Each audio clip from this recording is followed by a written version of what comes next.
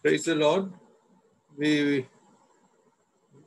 welcome all of you in the blessed name of our Lord and Savior Jesus Christ. We also welcome on behalf of the Kodambakam Christian Brethren Assembly and GLM Bookshop Ministries in Chennai. We shall start the meeting with a word of prayer. Gracious and loving Heavenly Father, we thank and praise Thee for this time, a time of fellowship, a time of understanding Thy word, a time where uh, we understand the mind of Christ, the mind of God, the heart of God. Lord, in everything, enable us to come closer to Thee and Thee alone. We praise Thee, we honor Thy name, for Thou art worthy to uh, not only uh, receive our honor and glory, but also uh, Thou art worthy to be called above Father, and we could lay our petitions, we could come with our supplications unto Thee. Father, we pray for today's uh, speaker, Evangelist Biju Varghese from Kerala. Father, we pray that Thou may speak through him,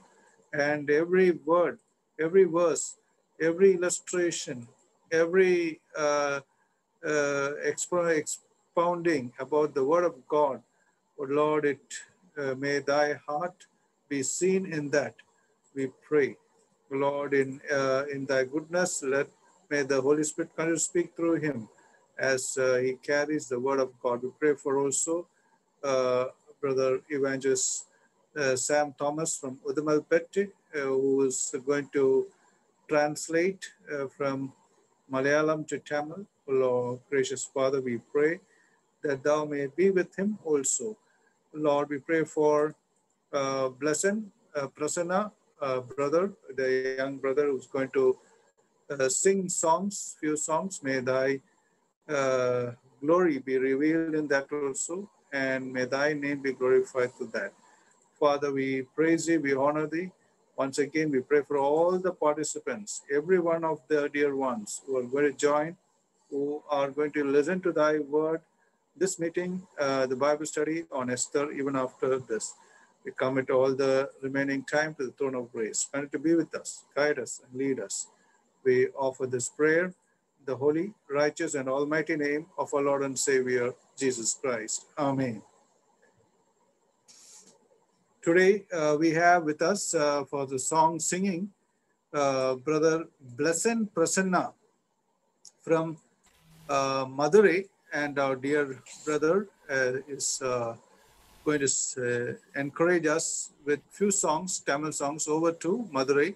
Brother Blessed Prasanna. Praise the Lord, dear brothers and sisters. Hope I am audible. Am I- audible or no? Okay, just just a minute.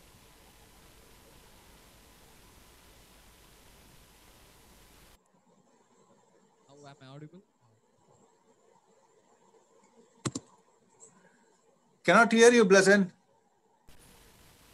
Am I am I audible right now? Am I audible or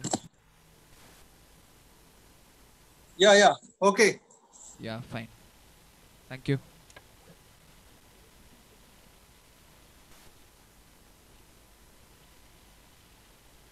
So once again, praise the Lord, uh, dear brothers and sisters. Two Tamil songs I'm going to sing right now. ஏழை என்னை கைவிடாமல் நேசர் என்றும் நடத்திடுவார் It's a quite good uh, Tamil song.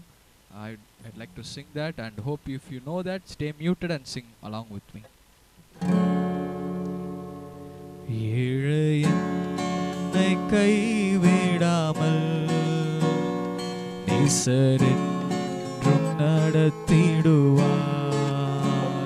ஏழை என்னை கைவிடாமல் நேசர் நடத்திடுவார். அக்கறை நான் சே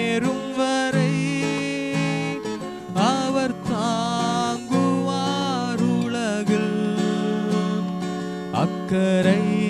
நான் சேரும் வரை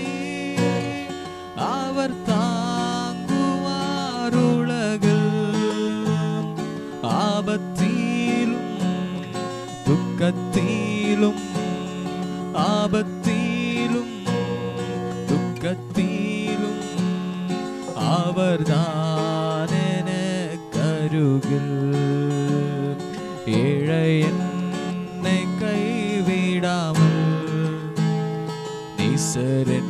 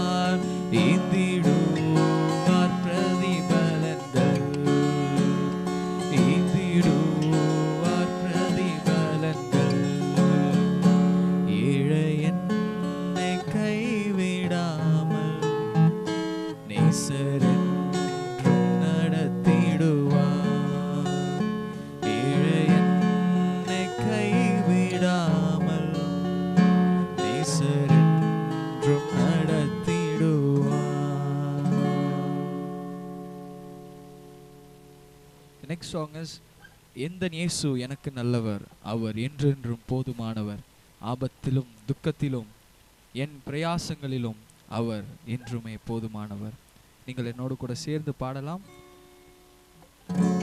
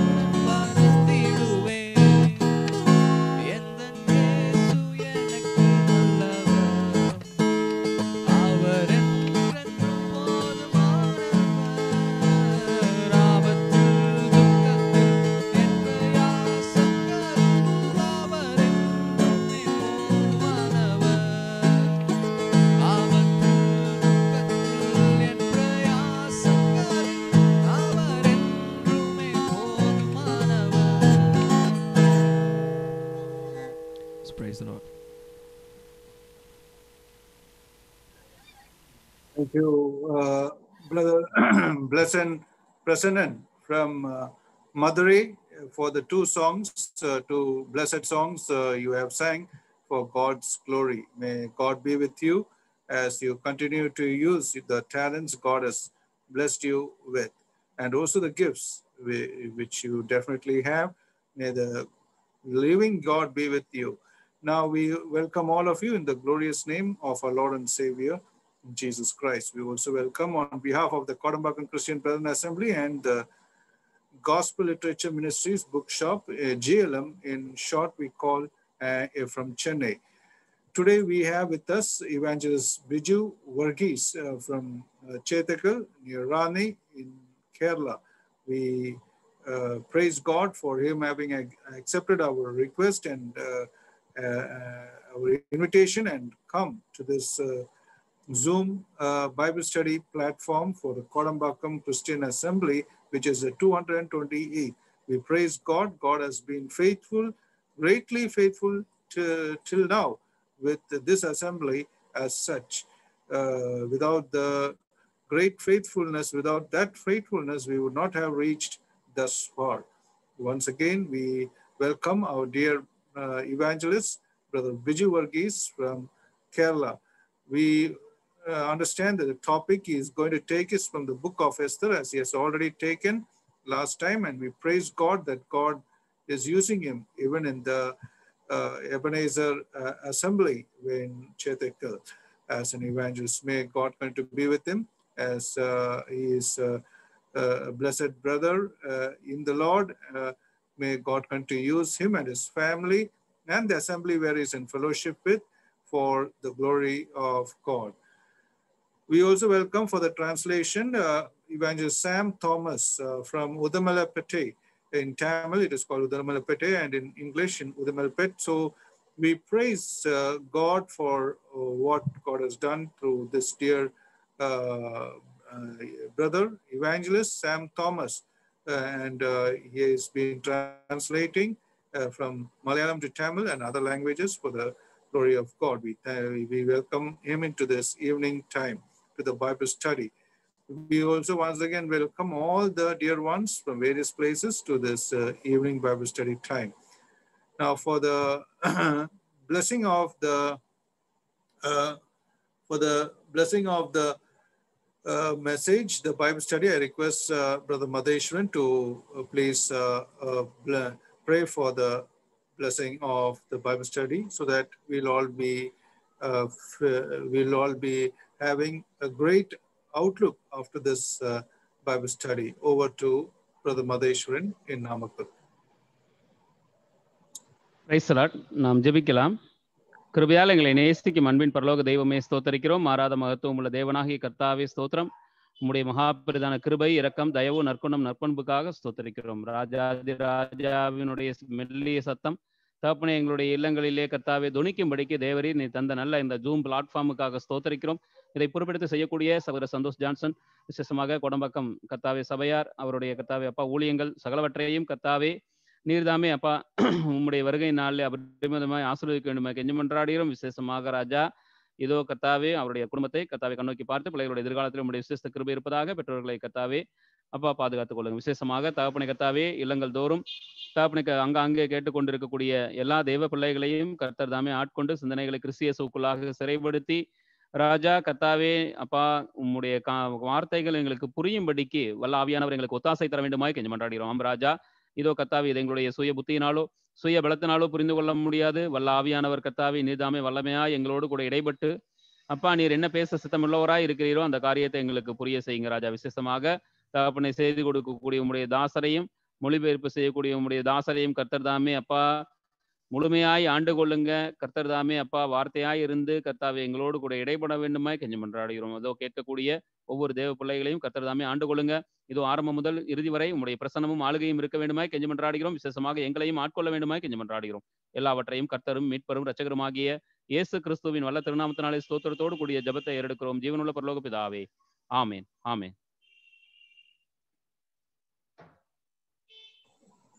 Thank you, uh, Brother Madheshwaran, for the prayer. Uh, may the blessed Lord be with you as you continue to lead the uh, life of grace uh, for the great Lord Jesus Christ, for the loving uh, Lord you have. Now we are going to the Bible study over to uh, Brother Biju Varghese in Chetakal, Kerala, and to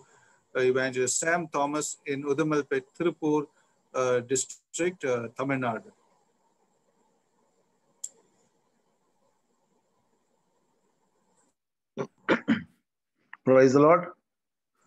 നാമം മഹനപ്പെടുവതാകെ എന്റെ sound clear ആണല്ലോ അല്ലേ? Clear കേൾക്കുന്നുണ്ട്.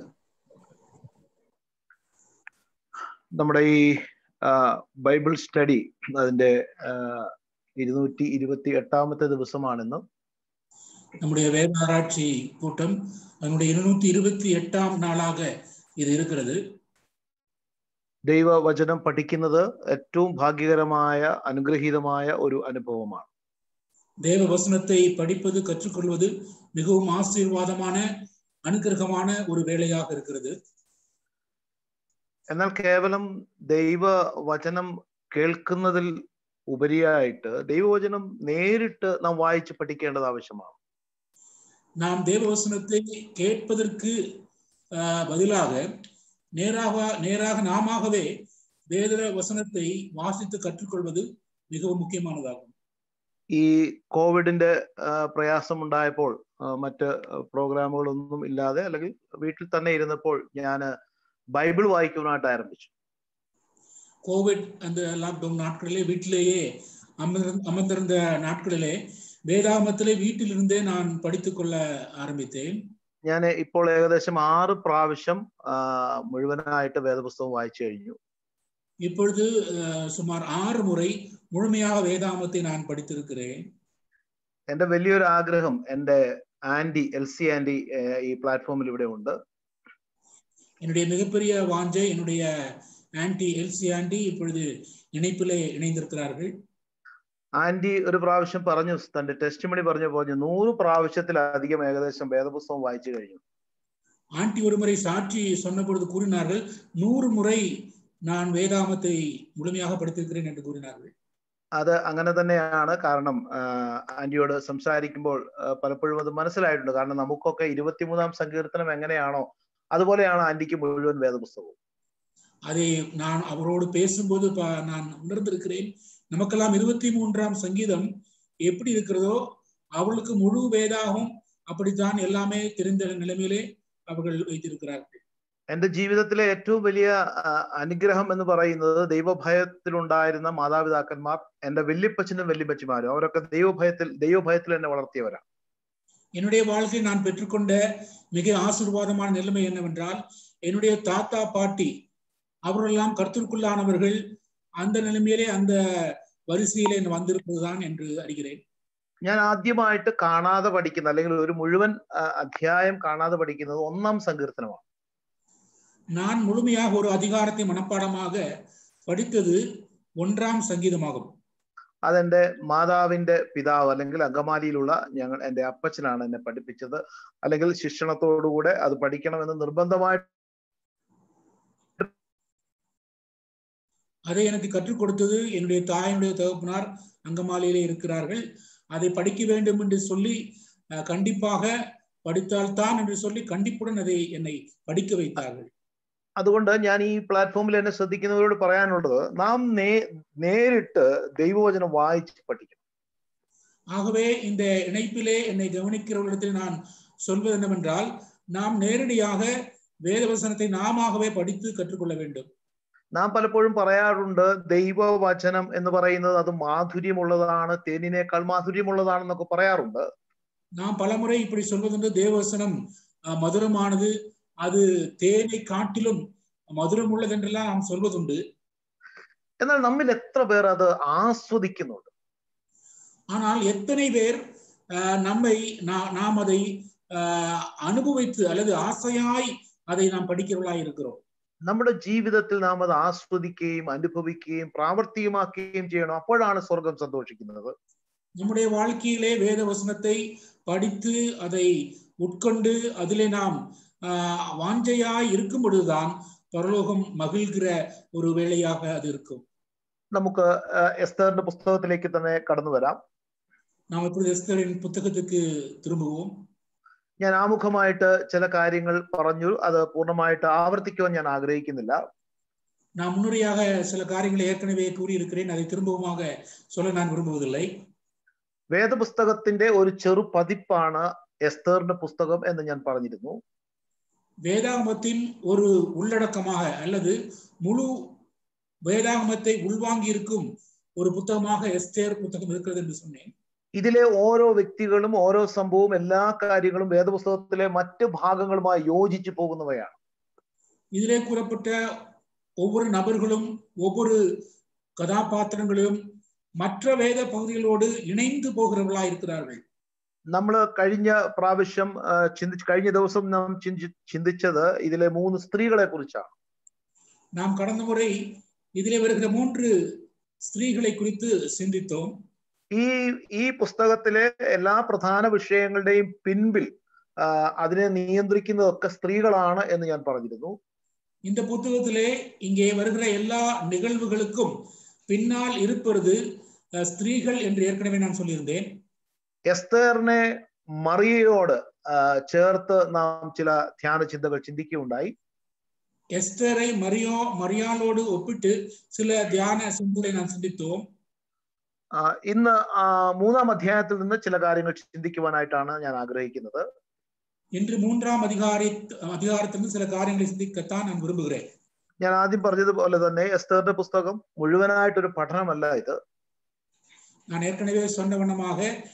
Esther புத்தகத்தின் முழுமையான ஒரு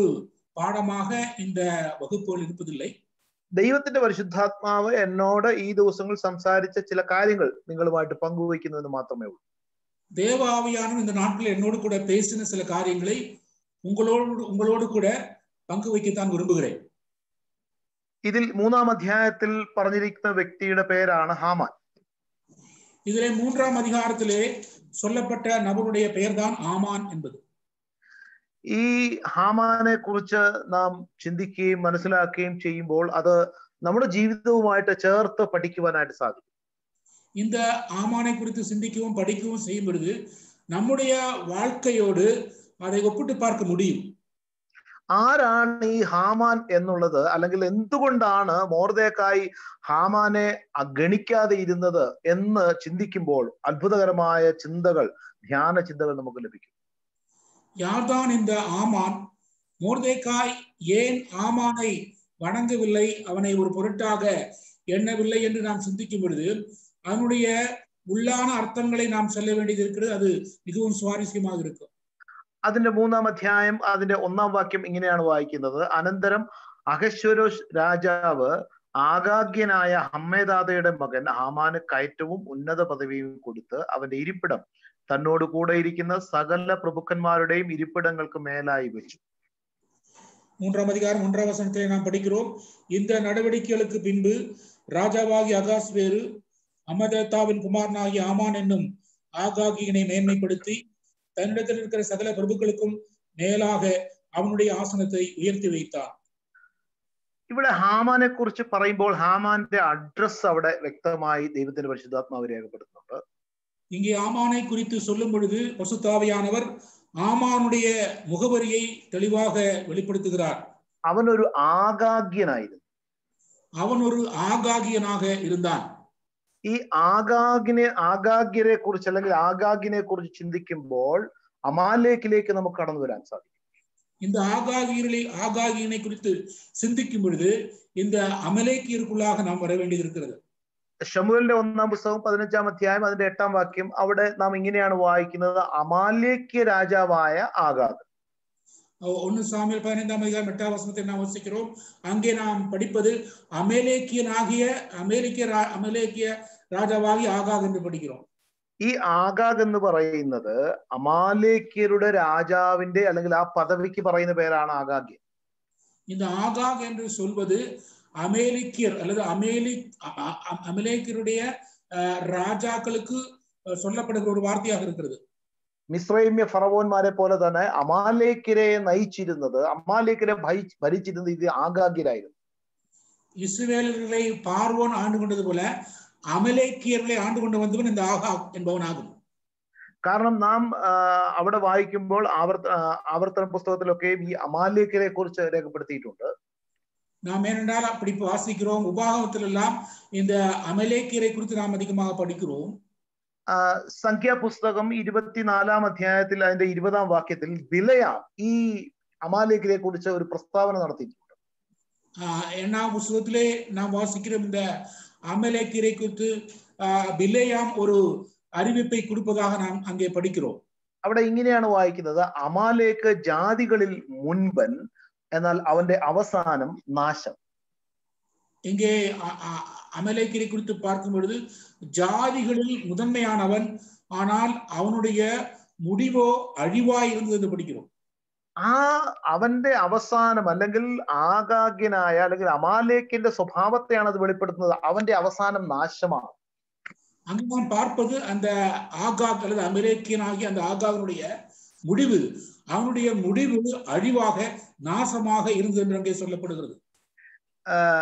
ഈ അമാലേക്കിന് ചെയ്ത കാര്യത്തെ കുറിച്ച് ദൈവം വളരെ വളരെ കോപത്തോടു കൂടിയാണ് ഇസ്രായേൽ മക്കളോട് അതിനെക്കുറിച്ച് പറയുന്നത് இந்த அமலேக்கியன் செய்த காரியத்தை குறித்து தேவன் மிகவும் உக்கிரமாக கோபத்தோடு அங்கே சொல்வதாக வேதத்திலே நாம் படிக்கிறோம் ആവർത്തന പുസ്തകം ഇരുപത്തി അഞ്ചാം അധ്യായം അതിന്റെ പതിനേഴ് മുതലുള്ള വാക്യങ്ങൾ വിശദമായിട്ട് അത് പറഞ്ഞിട്ടുണ്ട് உபாகம் இருபத்தி ஐந்தாம் அதிகாரம் பதினேழு உள்ள வசனங்களை அஹ், விரிவாக அந்த காரியங்கள் சொல்லப்பட்டிருக்கிறது അവൻ ദൈവത്തെ ഭയമില്ലാത്തവനാണ് അമാലേക്കൻ இந்த அமலேக்கியன் தேவனுக்கு தேவனுக்குரிய பயம் அல்லது தேவபயம் இல்லாதவனாக அவன் காணப்பட்டான் അമാലേക്കിനെ അവന്റെ ഓർമ്മയെ നിങ്ങൾ ഏഹ്, പൂർണ്ണമായിട്ട് നശിപ്പിച്ചു കളയണമെന്നാണ് പറഞ്ഞിരിക്കുന്നത് அமலேக்கியன் என்கின்ற அந்த பெயர் முதலாக அஹ், ஞாபகத்திலே அது வரக்கூடாது என்று சொல்லி அவன் அழிக்கப்பட வேண்டும் என்றுதான் சொல்லப்படுகிறது ഇത് നിങ്ങൾ മറന്നു പോകരുത് இதை நீங்கள் ஒருபோதும் மறந்து போகக்கூடாது ഈ അമാലേക്കനായ ആകാഗിനോടുള്ള ശമുവേലിന്റെ മനോഭാവം എന്നെ വളരെ അത്ഭുതപ്പെടുത്തി இந்த அமலேக்கியனாக ஆகோக் ஆகாகனோ ஆகோக் ஆகாக் இந்த இவனை பற்றி எப்படி சொல்லுகிறான் என்று சாமுவேல் சொல்வது என்னை மிகவும் சுவாரஸ்யப்படுத்தியது ഏഹ് ഒന്ന് ശമുവേലിന്റെ പുസ്തകം പതിനഞ്ചാം അധ്യായം അതിന്റെ ഏഹ് മുപ്പത്തിമൂന്നാം വാക്യം നാം വരും- വായിക്കുമ്പോൾ ஒன்னு சாமுவேல் பதினைந்தாம் அதிகாரம் முப்பத்தி மூன்றாம் வசனத்தை நாம் பார்க்கும்போது അതിന്റെ പശ്ചാത്തലം ഇതാണ് ഏഹ് ഷൗൽ രാജാവ് അമാലേക്കിനെ ജയിച്ച് ആ, പരാജയപ്പെടുത്തി മടങ്ങി വരുമ്പോൾ അവരുടെ രാജാവായ ആകാഗിനെ ജീവനോടെ പിടിച്ചുകൊണ്ടുവരുന്നു அந்த சவுல் ராஜா அமலேக்கியனாக ஆகாகனை அழித்து வரும் பொழுது அவனுடைய ராஜாவாகிய ஆகாகை உயிரோடே கொண்டு வந்தான் கொண்டு வந்தான் என்று படிக்கிறோம் അവനെ പു- ആ, കൊന്നുകളയണം അവനെ നിർമൂലമാക്കണം നശിപ്പിക്കണം എന്ന് പറഞ്ഞത് അവ ആ രാജാവിനെ ജീവനോട് പിടിച്ചുകൊണ്ടുവന്നു உன்னை கொன்றுவிட வேண்டும் தான் என்றுதான் சொல்லப்பட்டது ஆனால் அந்த ராஜாவை உயிரோடே அவன் கொண்டு கொண்டு வரப்படுகிறான் എന്നാൽ ഈ ആകാഗിനെ ശമുവേൽ ചെയ്ത കാര്യം മുപ്പത്തിമൂന്നാം വാക്യം അതിന്റെ അവസാന ഭാഗത്ത് രേഖപ്പെടുത്തിയിട്ടുണ്ട് இந்த ஆகாகை இந்த சாமுவேல் என்ன செய்தார் என்பதை ஆஹ், முப்பத்தி மூன்றாம் அதிகாரம் இந்த கடைசி வசனத்திலே நாம் அதை நாம் பார்க்கிறோம்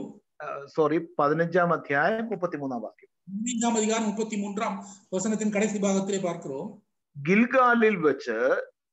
യഹോവയുടെ സന്നിധിയിൽ ആകാഗിനെ തുണ്ടം തുണ്ടമായി വെട്ടിക്കളഞ്ഞു கில்காலிலே தேவனுடைய சந்நிதி சந்நிதியிலே ஆகாகை துண்டு துண்டாக வெட்டினான் என்று படிக்கிறோம் ഈ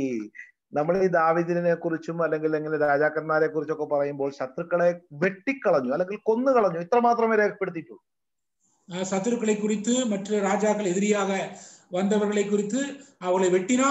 வெட்டினான் அவரை அழித்தான் என்றுதான் நாம் படிப்பதுண்டு എന്നാൽ ഇവിടെ ശമുവേല് ഈ ആകാഗിനെ തുണ്ടം തുണ്ടമായിട്ട് വെട്ടിക്കളഞ്ഞു ஆனால் இந்த ஆகாகை சவு சவுல் ராஜா அவனை துண்டு துண்டாக வெட்டினான் என்று படிக்கிறோம் ആകാഗിനോടുള്ള അല്ലെങ്കിൽ അമാലേക്കരോടുള്ള ആ അവന്റെ ഹൃദയത്തിലുള്ള ഒരു യഹൂദന്റെ ആ ആ മനോഭാവമാണ് ആ വാക്യത്തിൽ കാണുന്നത് இந்த ஆகாக் என்கின்ற அந்த நபரோடு அந்த ஆகாக் என்ற அந்த கூட்டத்தாரோடு ஒரு யூதனுக்கு இருந்த மனப்பான்மையை தான் அந்த மனநிலையைத்தான் இந்த வசனம் வெளிப்படுத்தி காண்பிக்கிறது ഇവർ മിശ്രൈമിൽ നിന്ന് വരുമ്പോൾ അവരുടെ പിന്നണിയിലുള്ള ബലഹീനരെ സ്ത്രീകളെയും കുഞ്ഞുങ്ങളെയും ഇവർ കൊന്നുകളഞ്ഞു இவர்கள் இஸ்ரவேலிலே காணப்படுகிறதான பலவீனர்களாகிய ஸ்திரீகளையும் பிள்ளைகளையும் கொன்று போட்டார்கள் என்று படிக்கிறோம் അതിന്റെ ഓർമ്മയ്ക്ക് വേണ്ടിയാണ് ശമുവലോട് പറയുന്നുണ്ട് നിന്റെ വാൾ സ്ത്രീകളെ മക്കളില്ലാത്തവരാക്കിയതുപോലെ அதை அதனுடைய நினைவாகத்தான் சொல்லுகிறது உன்னுடைய பட்டயமானது ஸ்திரீகளை பிள்ளைகள் இல்லாமற் பண்ணினது போல என்று நாம் படிக்கிறோம் അപ്പോൾ ഒരു അമാലേക്കിനോടുള്ള യഹൂദന്റെ മനോഭാവമാണ് ഇവിടെ ശമുവേലിന്റെ ആ പ്രവൃത്തിയിലൂടെ നമുക്ക് മനസ്സിലാക്കുവാൻ കഴിയുന്നത് ஒரு அமலேக்கின் அமலேக்கினுக்கு எதிராக ஒரு யூதன் எப்படியான மனப்பான்மை உடையவனாய் இருப்பான் என்பதைத்தான் இந்த சவுலனுடைய அந்த செய்திகளை பார்க்கும்போது நாம் அறிந்து கொள்ள முடிகிறது നമുക്കറിയാം ഒരു നമ്മെ കുറിച്ച് അല്ലെങ്കിൽ ഒരു ദൈവവൈതലിനെ സംബന്ധിച്ച് ലോകത്തിൽ ആ- ആ- അവന്റെ എതിരാളി അല്ലെങ്കിൽ ശത്രു എന്ന് പറയുന്നത് ലോകവും ജഡവും പിശാചുമാണ് உலகத்திலே நாம் அறிவோம் விசுவாசிகளுக்கு எதிரடையாக அல்லது அஹ், சத்துருக்களாக இருப்பது என்று என்னவென்று கேட்டால் உலகம் மாமிசம் பிசாசு என்பவைகளே விசுவாசிகளுக்கு எதிரானதாய் இருக்கிறது ന്യായാധിപന്മാരുടെ പുസ്തകം ആറാം അധ്യായത്തില് ആ, അവിടെ ഇസ്രായേലിനെ ആ, മുടിച്ചു കളയുന്ന അല്ലെങ്കിൽ ഇസ് ഇസ്രായേലിനെ നശിപ്പിച്ചു കളയുന്ന മൂന്ന് പേരെ കുറിച്ച് പറഞ്ഞിട്ടുണ്ട് நியாயாதிபதிகள் நியாயாதிபதிகள் ஆறாம் அதிகாரத்தில் இஸ்ரவேலர்களை அழித்து போடுகிற மூன்று நபர்களை குறித்து நாம் அங்கே படிக்கிறோம் അതിൽ ഒന്ന് മിദ്ദ മിദ്യാന്യരുണ്ട് അതുപോലെ രണ്ടാമത് അമാലേക്കരുണ്ട് കിഴക്ക് ദേശക്കാർ அங்கே நாம் பாரும் மீதியானியர் அமலேக்கியர் கிழக்கு திப்புத்திரர் என்று மூன்று பெயர்களை படிக்கிறோம் ഈ മൂന്ന് ആളുകളെ കുറിച്ച് നാം പരിശോധിച്ചു നോക്കിയാൽ ഇത് മനസ്സിലാക്കാൻ കഴിയും ലോകവും ജഡവും പിശാചും இந்த மூன்று பெயர்களை நாம் அஹ், தனியாக படித்து பார்த்தால் அஹ், அஹ், நாம் அறிந்து கொள்ள முடியும் உலகம் மாமிசம் பிசாசு இவைகளுக்கு சான்றாக அவர்கள் இருக்கிறார்கள் ജഡത്തിന്റെ അല്ലെങ്കിൽ നമ്മുടെ സ്വയത്തിന്റെ നിഴലാണ് ഈ അമാലേക്ക് மாமிசம் அல்லது நம்முடைய சுயத்தின் நிழலாக அமலேக்கியர்கள் இருக்கிறார்கள் ഈ സ്വയത്തിന്റെ അല്ലെങ്കിൽ മറ്റ് രണ്ട് കാര്യങ്ങൾ ലോകവും പിശാചും അത് നമ്മുടെ പുറത്തുള്ള കാര്യങ്ങളാണ് அஹ், உலகம் விசாசு என்று சொல்வதெல்லாம் நமக்கு வெளியாக நமக்கு வெளியே இருக்கிற இரண்டு காரியங்களா இருக்கிறது എന്നാൽ സ്വയം എന്ന് പറയുന്നത് അല്ലെങ്കിൽ ജഡം എന്ന് പറയുന്നത് അത് നമ്മുടെ ഉള്ളിൽ നമ്മളിലുള്ള കാര്യങ്ങളാണ് ஆனால் சுயம் என்று சொல்வது அல்லது மாம்சம் என்று சொல்வது நமக்குள்ளே இருக்கிற காரியங்களாக அவைகள் இருக்கிறது നാം ഏറ്റവും ഭയപ്പെടേണ്ടത് ഏറ്റവും ജാഗ്രതയായിരിക്കേണ്ട ഒരു കാര്യം നമ്മുടെ സ്വയം ഉയരാതിരിക്കണം എന്നുള്ളതാണ് நாம் மிகவும் பயப்பட வேண்டியது நாம் எப்பொழுதுமே ஜாக்கிரதையாய் விழிப்புடன் இருக்க வேண்டிய காரியம் நம்முடைய மாம்சம் என்பதே ஆகும் ഈ മൂന്നാം അധ്യായം എസ്തേറിന്റെ പുസ്തകം മൂന്നാം അധ്യായം അവസാനിക്കുന്നത് നാം കഴിഞ്ഞ പ്രാവശ്യം ആ വാക്യം വായിച്ചതാണ് ശൂഷൻ പട്ടണമോ കലങ്ങിപ്പോയി இந்த எஸ்தரின் புத்தகம் மூன்றாம் அதிகாரம் கடைசி அஹ், வசனம் இப்படியாக நாம் வாசிக்கிறோம் சூசான் நகரம் கலங்கிற்று என்று படிக்கிறோம் ഈ മൂന്നാം അധ്യായത്തിൽ ഹാമാൻ ഒരു വിജയം ലഭിക്കുകയാണ് അല്ലെങ്കിൽ ഹാമാൻ വിജയിക്കുമ്പോൾ അവൻ ഉന്നത പദവി ലഭിച്ച് അവൻ വളരെ വിജയശീലാളിതനായി തീരുമ്പോൾ ശൂഷൻ പട്ടണം കലങ്ങിപ്പോവുകയാണ് இந்த மூன்றாம் அதிகாரத்திலே நாம் பார்க்கும் பொழுது ஆமான் வெற்றியடைந்து அஹ், மாபெரும் வெற்றியை உடையவனாய் இருக்கும் பொழுது அஹ், அங்கே சூசா நகரத்துக்கு அஹ், மிகப்பெரிய கலக்கம்தான் உண்டாயிற்று ശൂഷൻ പട്ടണം കലങ്ങി എന്ന് പറയുമ്പോൾ യഹൂദന്മാരെ സംബന്ധിച്ച് അത് പറയുന്നത് യഹൂദന്മാർക്ക് വലിയ കലക്കവും പ്രശ്നങ്ങളും പ്രയാസങ്ങളും ഉണ്ടായി சூசா நகரம் கலங்கிற்று என்று சொல்லும்போது சொல்லும் பொழுது அது யூதர்களை பற்றி தான் சொல்லுகிறது யூதர்களுக்கெல்லாம் பெரிய ஒரு கலக்கம் உண்டானது ജഡം ഉയരുമ്പോൾ നമ്മുടെ സ്വയം ഉയരുമ്പോൾ സംഭവിക്കുന്നതും ഇത് തന്നെയാണ് വലിയ കലക്കവും പ്രശ്നങ്ങളും പ്രയാസങ്ങളുമാണ് ഉണ്ടാകുന്നത് நம்முடைய மாம்சம் உயரும் பொழுது நம்முடைய சுயம் உயரும் பொழுது அங்கே வருவதெல்லாம் இப்படித்தான் பிரச்சனையும் கலக்கமும் துன்பமும் தான் എ- അതുകൊണ്ടാണ് കർത്താവ് തന്നെ പറഞ്ഞത് നിങ്ങൾ കലങ്ങി പോകരുതെന്നാണ് പറഞ്ഞിരിക്കുന്നത് ஆகவேதான் ஆண்டவர் சொல்லுகிறார் சொல்லுகிறார் நீங்கள் கலங்காதிருப்பீர்களாக என்று சொல்கிறார் എന്നിൽ വിശ്വസിപ്പിൻ പിതാവിൽ വിശ്വസിപ്പിൻ என்னில் விசுவாசமாயிருங்கள் பிதாவிலும் விசுவாசமாயிருங்கள் என்று சொல்கிறார் നമുക്കറിയാം വിശ്വാസം എന്നുള്ളത് അതിന്റെ ഏറ്റവും ഉന്നതമായ അനുഭവമാണ് ആശ്രയം എന്ന് പറയുന്നത് நாம் அறிவோம் விசுவாசம் என்று சொல்லும் பொழுது அதனுடைய மிகவும் உன்னதமான ஒரு தன்மைதான் நம்பிக்கை அப்படியே சார்ந்து இருப்பது അപ്പോ ദൈവത്തിലും എന്നിലും നിങ്ങൾ ആശ്രയിക്കുക നിങ്ങൾ കലങ്ങേണ്ട ആവശ്യമില്ല என்னிலும் பிதாவிலும் நீங்கள் சார்ந்திருங்கள் விசுவாசமாயிருங்கள் அப்பொழுது நீங்கள் கலங்க வேண்டிய அவசியம் இல்லை ഈ ഒരു വലിയ സന്ദേശം എസ്തറിന്റെ പുസ്തകം നമ്മെ അറിയിക്കുന്നുണ്ട് இந்த ஒரு பெரிய செய்தியை எஸ்தரின் எஸ்தரின் புத்தகம் நமக்கு தெரிவிக்கிறது ഇവിടെ ഹാമാന്റെ ചില സ്വഭാവങ്ങൾ നമുക്കൊന്ന് നോക്കാം இங்கே ஆமானுடைய சில குணாதிசயங்களை நாம் படிப்போம் അവന്റെ അവന്റെ ജീവിതത്തെ കുറിച്ച് നാം ഒന്ന് പഠിച്ചാൽ ഇത് നമ്മുടെ ജീവിതവുമായിട്ട് ചേർത്ത് പഠിക്കുവാൻ ചിന്തിക്കുവാൻ നമുക്ക് കഴിയും அவனுடைய வாழ்க்கை குறித்து நாம் படிக்கும்போது நம்முடைய வாழ்க்கையோடு அதை ஒப்பிட்டு பார்க்க முடியும் അതിന്റെ ഒന്നാം വാക്യത്തിൽ നാം വായിച്ചത് അവന് കയറ്റവും ഉന്നത പദവിയും കൊടുത്തു அங்கே நாம் பார்க்கிறது அவன் மேன்மைப்படுத்தப்பட்டான் மிக பெரும் பதவிக்கு அவன் உயர்த்தி வைக்கப்பட்டான் സ്വയത്തിന്റെ അല്ലെങ്കിൽ ജഡത്തിന്റെ ഒരു പ്രത്യേകത ഇതാണ് എപ്പോഴും ഉന്നതമായ നിലയിലേക്ക് പോവുക താഴാനായിട്ട് കഴിയില്ല இந்த மாம்சத்தினுடைய ஒரு குணாதிசயம் என்னவென்று கேட்டால் எப்பொழுதுமே உயர்ந்திருக்க வேண்டும்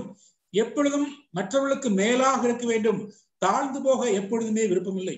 ദൈവ മക്കളുടെ ദൈവ പൈതലിന്റെ ജീവിതത്തെ കുറിച്ച് കർത്താവ് പറയുന്നത് നിങ്ങൾ താഴ്മയുള്ളവരായിരിക്കണമെന്നാണ് தேவ பிள்ளைகளை குறித்து கர்த்தர் சொல்லுகிற ஆண்டவர் சொல்லுகிற காரியம் என்னவென்றால் நீங்கள் அஹ், கர்த்தருடைய சமூகத்திலே தாழ்மைப்படுங்கள் என்று படிக்கிறோம் താഴ്മയുള്ളവർക്കാണ് ദൈവം കൃപ നൽകുന്നത്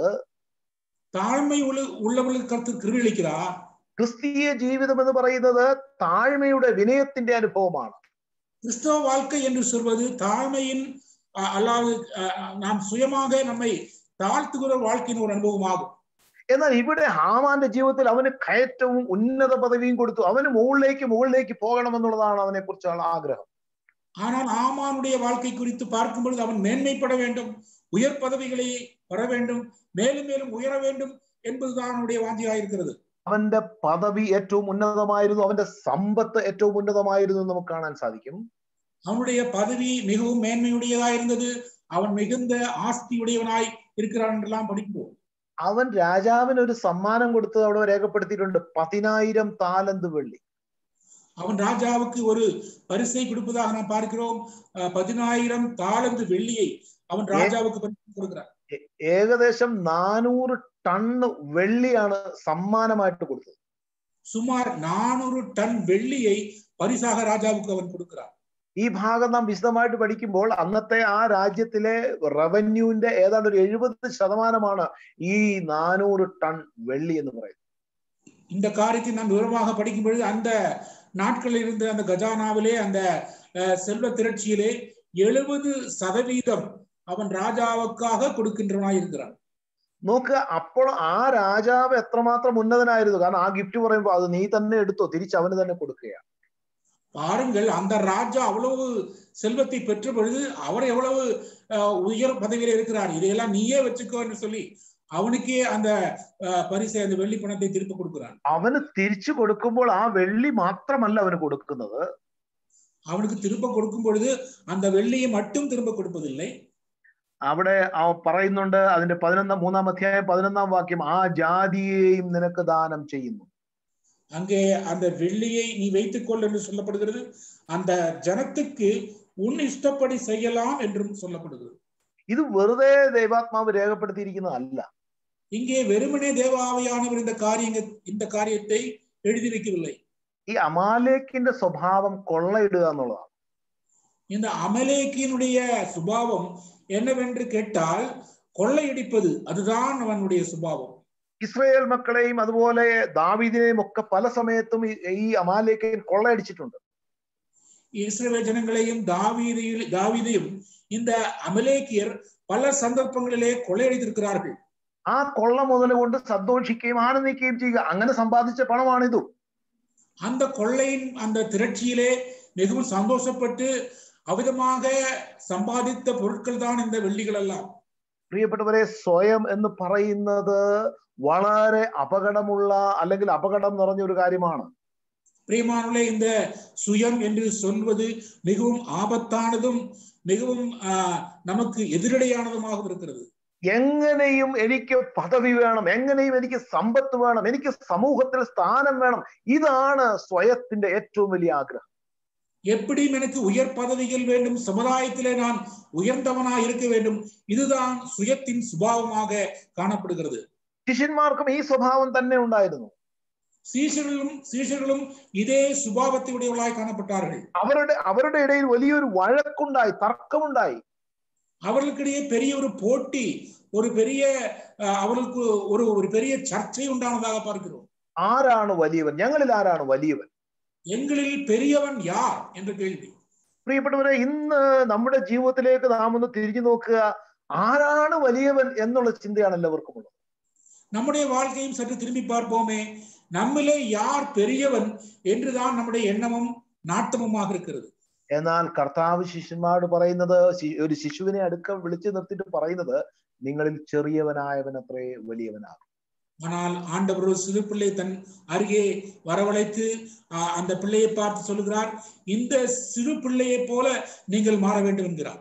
പ്രിയപ്പെട്ടവരെ നാം നമ്മുടെ ദൈവത്തിൽ ആശ്രയിക്കുക താഴ്മയോടെ വിനയത്തോടെ ദൈവത്തിൽ ആശ്രയിക്കുക അതാണ് ദൈവം നമ്മെ കുറിച്ച് ആഗ്രഹിക്കുന്നത് பிரியமான நாம் தாழ்மைப்பட்டு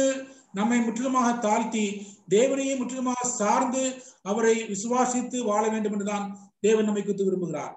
പലപ്പോഴും ദൈവത്തെ ഭയപ്പെടുവാനായിട്ട് നമുക്ക് കഴിയുന്നില്ല பல சந்தர்ப்பங்களிலே தெய்வ பயம் நம்மை விட்டு அகன்று போகிறது ഈ ഈ ഹാമാന്റെ ഒരു പ്രത്യേകത അതാണ് അല്ലെങ്കിൽ അമാലേക്കിന്റെ ഒരു പ്രത്യേകത അവന് ദൈവഭയമില്ല இந்த அமலேக்கியர்களது ஆகாகியன் அவர் அவனுக்கு இருந்த அஹ், தனித்தன்மை என்னவென்றால் அவன் அவனிடத்திலே தெய்வ பயம் சற்றேனும் இல்லை പ്രിയപ്പെട്ടവരെ നൂറ്റി പന്ത്രണ്ടാം സങ്കീർത്തനം വളരെ പ്രസ ഒന്നാം വാക്യം നമുക്ക് എല്ലാവർക്കും അറിയാം യഹോമയെ ഭയപ്പെട്ട് അവന്റെ കൽപ്പനകളിൽ ഏറ്റവും ഇഷ്ടപ്പെടുന്ന മനുഷ്യൻ ഭാഗ്യവാൻ நாம் அறிவோம் நூத்தி பன்னெண்டாம் சங்கத்திலே நாம் படிக்கிறோம் கர்த்தருக்கு பயந்து அவர் வழிகளிலே நடக்கிற மனுஷன் பாக்கியவான் ഞാൻ ഈ വാക്യം പലപ്പോഴും ഇത് ധ്യാനിച്ചിട്ടുണ്ട് நான் இந்த வசனத்தை பலமுறை அஹ், படித்து தியானித்ததுண்டு ഇത് നമുക്ക് എന്തെങ്കിലും ഇതിനകത്ത് നിന്ന് മനസ്സിലായിട്ടുണ്ടോ ഈ വാക്യം എന്താണ് இந்த வசனத்தினுடைய உண்மையான கருத்து என்ன என்று நாம் அதை அஹ், விளங்கி இருக்கிறோமா യഹോവയെ ഭയപ്പെടണം എന്നിട്ട് അവന്റെ കൽപ്പനകളെ ഇഷ്ടപ്പെടണം கர்த்தருக்கு பயந்து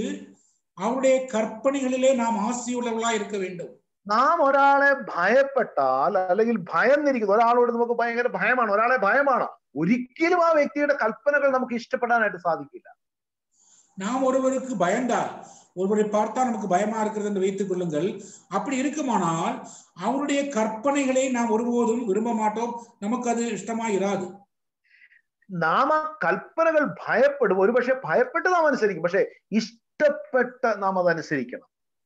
ஒருவேளை பயந்து மிகவும் பயந்து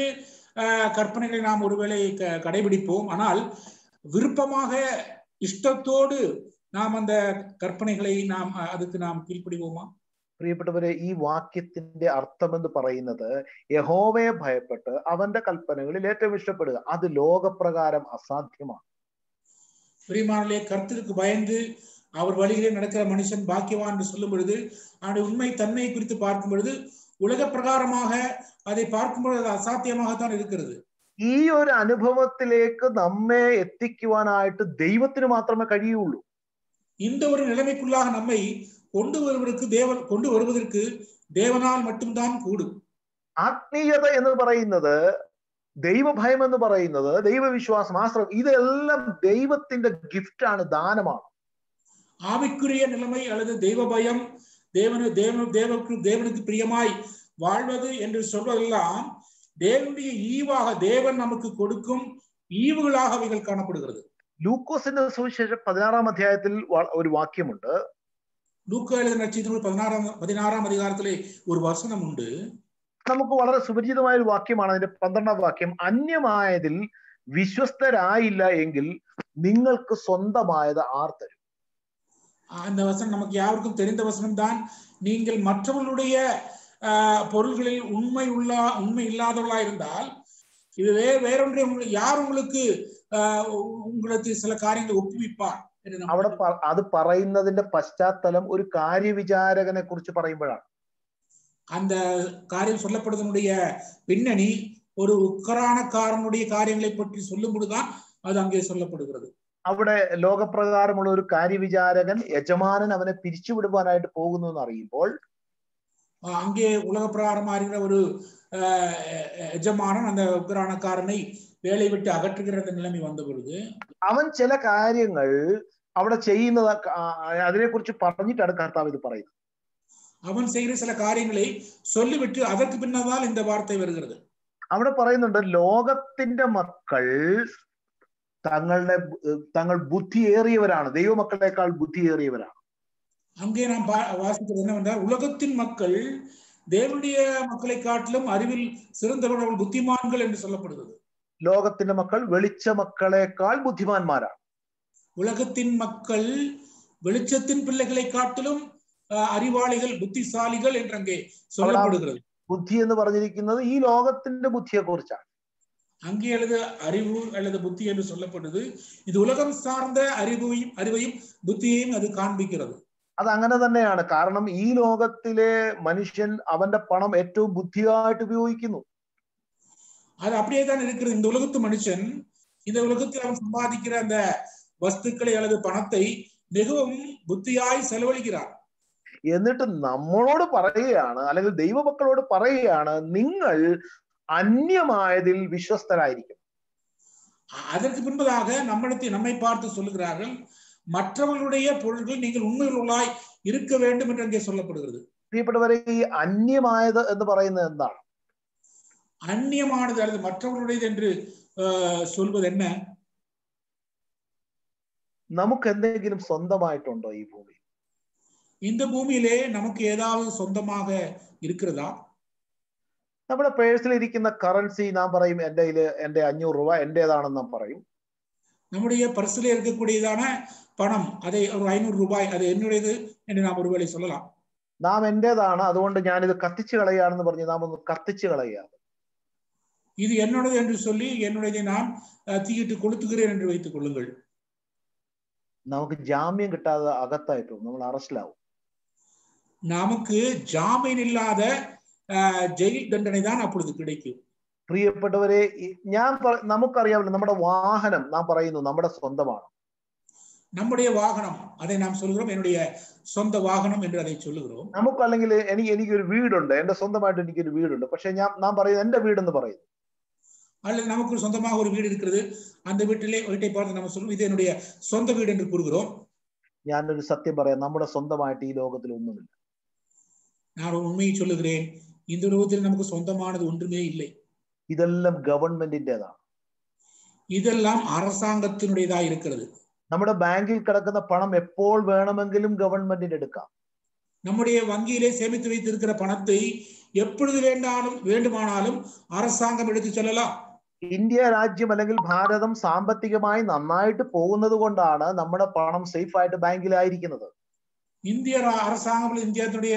பொருளாதார நிலைமை சரியாக போவதனாலே தான் நாம் வங்கியிலே சேர்த்து வைக்கிற சேர்த்து வைத்திருக்கிற பணம் பத்திரமாக அங்கே இருக்கிறது നമ്മുടെ വീടിനും വണ്ടിക്കും നമ്മൾക്കുള്ളതിനൊക്കെ അല്ലെങ്കിൽ നമ്മുടെ പോക്കറ്റിരിക്കുന്ന പണത്തിനും ഒക്കെ നാം ടാക്സ് കൊടുക്കുന്നത് നാം അതിന്റെ കസ്റ്റോഡിയൻ മാത്രമാണ് நமது வீட்டிலே நமது வீடு நமது பணம் நமது வாகனம் இதுக்கெல்லாம் நம்முடைய சொந்தம் என்று சொல்கிறோம் அதற்கு காரணம் என்னவென்று கேட்டால் அதற்குரியதான வரியை நாம் கொடுத்து கொண்டிருக்கிறோம் ஆகவேதான் அது நமக்கு சொந்தமாக இருக்கிறது നമുക്കത് സ്വന്തമായിട്ട് ഉപയോഗിക്കാം പക്ഷെ ഗവൺമെന്റിന് എപ്പോൾ വേണമെങ്കിലും അത് എടുക്കാം அதை நாம் சொந்தமாக பயன்படுத்தலாம் ஆனால் அரசாங்கம் எப்பொழுது வேண்டுமானாலும் அதை எடுத்துக்கொண்டு போகலாம் പ്രിയപ്പെട്ടവരെ ഈ ലോകത്തിൽ നമുക്ക് സ്വന്തമായിട്ട് ഒന്നുമില്ല பிரியமானவர்களே இந்த உலகத்திலே நமக்கு சொந்தம் என்று சொல்வதற்கு ஒன்றுமே இல்லை നാം അത് വ്യക്തമായിട്ട് മനസ്സിലാക്കണം அதை நாம் தெளிவாக புரிந்து கொள்ள வேண்டியது அவசியம் അന്യമായത് അല്ലെങ്കിൽ എനിക്ക് സ്വന്തമല്ലാതെ എനിക്ക് ലഭിച്ചിരിക്കുന്ന കാര്യങ്ങൾ எனக்கு சொந்தமல்லாத அந்நியமான சில காரியங்கள் இப்பொழுது நான் என் கைவசம் பெற்றிருக்கிறேனே അതെന്റെ സമ്പത്താവട്ടെ എന്റെ ജോലിയാവട്ടെ എന്റെ ആരോഗ്യമാവട്ടെ ഇതൊന്നും എന്റെ സ്വന്തമല്ല அது என்னுடைய சொத்தாக இருக்கட்டும் என்னுடைய ஆரோக்கியமா இருக்கட்டும் என்னுடைய அஹ், வேலையா இருக்கட்டும் என்னுடைய வாகனமா இருக்கட்டும் எதுவெல்லாம் அதுவெல்லாம் என்னுடைய சொந்தம் அல்ல എന്നാൽ നാം ഇത് ഈ ഉപയോഗിക്കുന്ന കാര്യത്തിൽ എങ്ങനെ വിശ്വസ്തരാണ് ஆனால் இதை பயன்படுத்துகிற காரியத்திலே നാം எப்படி എന്ത நிலைமையிலே உண்மையுள்ளவர்களாய் உண்மையுள்ளவர்களாய் இருக்கிறோம் ലോകത്തിന്റെ മക്കളെ അല്ലെങ്കിൽ പിശാചിന്റെ മക്കളെ നിങ്ങൾ നോക്ക്. അവർ എത്രയോ ബുദ്ധിപൂർവമാണ് അവരെ കാര്യങ്ങൾ ചെയ്യുന്നത്. ഉലകത്തിൻ പിള്ളകളെ നിങ്ങൾ பாருங்கள் எவ்வளவு அறிவாளிகளாக புத்திசாலிகளாக കാര്യങ്ങൾ அவர்கள் செய்கிறார்கள் എന്നാൽ ദൈവം എനിക്ക് തന്നിരിക്കുന്ന ബുദ്ധി എനിക്ക് തന്നിരിക്കുന്ന സാധ്യതകളെ ഞാൻ ദൈവനാമ മഹത്വത്തിന് വേണ്ടി ഉപയോഗിക്കുമ്പോഴാണ് സ്വർഗീയമായതിനെ ദൈവം എനിക്ക് നൽകുന്നത്. അല്ലെ എനിക്ക് സ്വന്തമായത് സ്വർഗത്തിലാണ് ஆனால் தேவன் எனக்கு கொடுத்திருக்கிற எல்லா சௌகரியங்களும் எல்லா வசதி வாய்ப்புகளும் அதை வேத வேத தேவனுக்கு பிரியமான நிலைமையை நான் அதை பயன்படுத்தும் போதுதான் பரலோகம் என்னை குறித்து சந்தோஷிக்கிற ஒரு காரியமாக அது இருக்கும் അപ്പോൾ ആണ് അല്ലെങ്കിൽ എനിക്ക് സ്വന്തമായത് എന്റെ ഏറ്റവും സ്വന്തമായതുള്ളത് കർത്താവിന്റെ കയ്യിലാണ് അല്ലെങ്കിൽ ദൈവത്തിന്റെ കയ്യിലാണ് அல்லது எனக்கு மிகவும் சொந்தமானது என்னுடையது என்று சொல்வதெல்லாம் இன்று அது தேவனுடைய കരങ്ങളിലേ இருக்கிறது ഞാൻ ഇപ്പോൾ എനിക്ക് അന്യമായിട്ടുള്ള ഈ ലോകത്തിലെ കാര്യങ്ങൾ വിശ്വസ്തമായിട്ട് ദൈവം എന്നോട് പറയുന്നത് പോലെ ഞാൻ ഉപയോഗിച്ചാൽ മാത്രമേ സ്വർഗീയമായതിനെ എനിക്ക് ലഭിക്കുകയുള്ളൂ ஆகவே இப்பொழுது நான் பெற்றிருக்கின்ற வசதி வாய்ப்புகள் என்னுடைய சொந்தம் என்று சொல்கின்ற உலகத்தின் காரியங்களை உண்மையாக நான் அதை பயன்படுத்தினால்தான் பரலோகம் அதிலே மகிழ்ச்சியா இருக்கும் பரலோகத்தின் காரியங்களை தேவன் அப்பொழுது அப்பொழுதுதான் நமக்கு அதை கொடுப்பார் അപ്പോഴാണ് ഇത് നമുക്ക് മനസ്സിലാകത്തുള്ളൂ യഹോവയെ ഭയപ്പെട്ട് അവന്റെ കൽപ്പനകളിൽ ഏറ്റവും ഇഷ്ടപ്പെടുന്ന മനുഷ്യൻ ഭാഗ്യം அப்பொழுதுதான் இந்த வசனம் நமக்கு தெளிவாய் புரியும் கருத்திற்கு பயந்து அவர் வழியிலே நடக்கிற மனுஷன் பாக்கியவான் என்ற வார்த்தை ദൈവഭയം ദൈവം സ്നേഹം തന്നെ ദൈവം ദീർഘക്ഷമയുള്ളവൻ ഇതൊക്കെ നാം പറയുന്നുണ്ട് പക്ഷെ നമുക്കത് അനുഭവിക്കുവാൻ കഴിയുന്നുണ്ട് പ്രിയപ്പെട്ടവരെ தேவ பயம் தேவன் அன்புள்ளவர் தேவன் இறக்கமுள்ளவர் என்றெல்லாம் இந்த வாச- வசனங்கள் எல்லாம் நமக்கு தெரியும் இவைகளை ஆனால் அனுபவத்திலே நாம் அனுபவித்து வைத்திருக்கிறோமா ഇതിന്റെ ഏറ്റവും വലിയ തടസ്സം നമ്മുടെ സ്വയമാണ് ഹാമാൻ ഉയർന്നു നിൽക്കുകയാണ് നമ്മിൽ இதற்கெல்லாம் மிக பெரும் தடையாக இருப்பது நம்முடைய சுயமே ஆகும் ஆமான் தன்னை உயர்த்தி கொள்ளத்தான் விரும்பினான் സ്വയം എപ്പോഴും ഉയർന്നു നിൽക്കുമ്പോൾ അവിടെ ദൈവഭയത്തിന് ദൈവാശ്രയത്തിന് യാതൊരു സ്ഥാനവുമില്ല சுயம் சுயம் எங்கெங்கெல்லாம் உயர்ந்திருக்கிறதோ அங்கே தெய்வ பயமும் தேவன் பேருள்ள விசுவாசத்துக்கும் சாத்தியமே இல்லை രണ്ടാമതായിട്ട് ഒരു കാര്യം കൂടെ ഞാൻ വേഗം പറയട്ടെ മൂന്നാം അധ്യായം അതിന്റെ അഞ്ചാം വാക്യം എസ്തറിന്റെ പുസ്തകം മൂന്നാം അധ്യായം അതിന്റെ അഞ്ചാം വാക്യം ഇങ്ങനെയാണ് വായിക്കുന്നത് മോർദേക്കായി ത- മോർദേക്കായി തന്നെ കുമ്പിട്ട് നമസ്കരി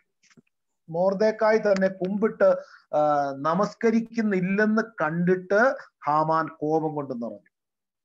எஸ்தர் மூன்றாம் அதிகாரம் ஐந்தாவது வசனத்திலே நாம் பார்க்கிறோம் ஆம ஆமான் முர்தேக்காய் தன்னை வணங்கி நமஸ்கரியாததை கண்டபோது மூர்க்கம் நிறைந்தவனானான் അതിന്റെ അഞ്ചാം അധ്യായത്തിന്റെ പന്ത്രണ്ടാം വാക്യം അതിന്റെ ആദ്യ ഭാഗം ഞാൻ വായിക്കുന്നു ഏർ എസ്തറിന്റെ പുസ്തകം അഞ്ചാം അധ്യായം പന്ത്രണ്ടാം വാക്യം എസ്തർ രാജ്ഞിയും താൻ ഒരുക്കിയ വിരുന്നിനും എന്നെ അല്ലാതെ മറ്റാരെയും രാജാവിനോട് കൂടെ ചെല്ലുവാൻ അനുവദിച്ചു அவன் அஹ், ஐந்தாம் அதிகாரம் பன்னெண்டாம் வசனத்திலே பார்க்கிறோம் பின்னையும் ஆமான் ராஜஸ்திரீயாகிய எஸ்தரும் தான் செய்த விருந்துக்கு ராஜாவுடனே கூட என்னை தவிர வேறொருவரையும் அழைக்கவில்லை ഈ രണ്ട് വാക്യങ്ങളിൽ നിന്ന് ഹാമാനെ കുറിച്ചുള്ള ഒരു സ്വഭാവം നമുക്ക് മനസ്സിലാക്കാം ഹാ- ഹാമാൻ ഭയങ്കര ഈഗോ അല്ലെങ്കിൽ അഹംഭാവമുള്ളവനായി இந்த இரண்டு வசனங்களை நாம் சேர்த்து படிக்கும் பொழுது ஆமான் மிகப்பெரிய அஹ், ஒரு ஈகோ உடையவனாக ஒரு அகம்பாவம் உடையவனாக அவன் காணப்படுகிறான் ഈ അഹംഭാവത്തിന്റെ ഈഗോയുടെ വലിയൊരു പ്രശ്നം എന്താണെന്ന് അറിയാമോ இந்த ஈகோ என்று சொல்லுகிற இந்த அகம்பாவம் அதனுடைய மிகப்பெரிய பிரச்சனை என்னவென்று தெரியுமா അതിന്റെ പ്രശ്നമാണ് ഞാൻ ആദ്യം ആ, പറഞ്ഞപ്പോൾ പറഞ്ഞു അവന്റെ അവസാനം നാശമാകും அதனுடைய அர்த்தம் அல்லது அதனுடைய பொருளைத்தான் முதலில் நான் சொன்னேன் அல்லவா அவனுடைய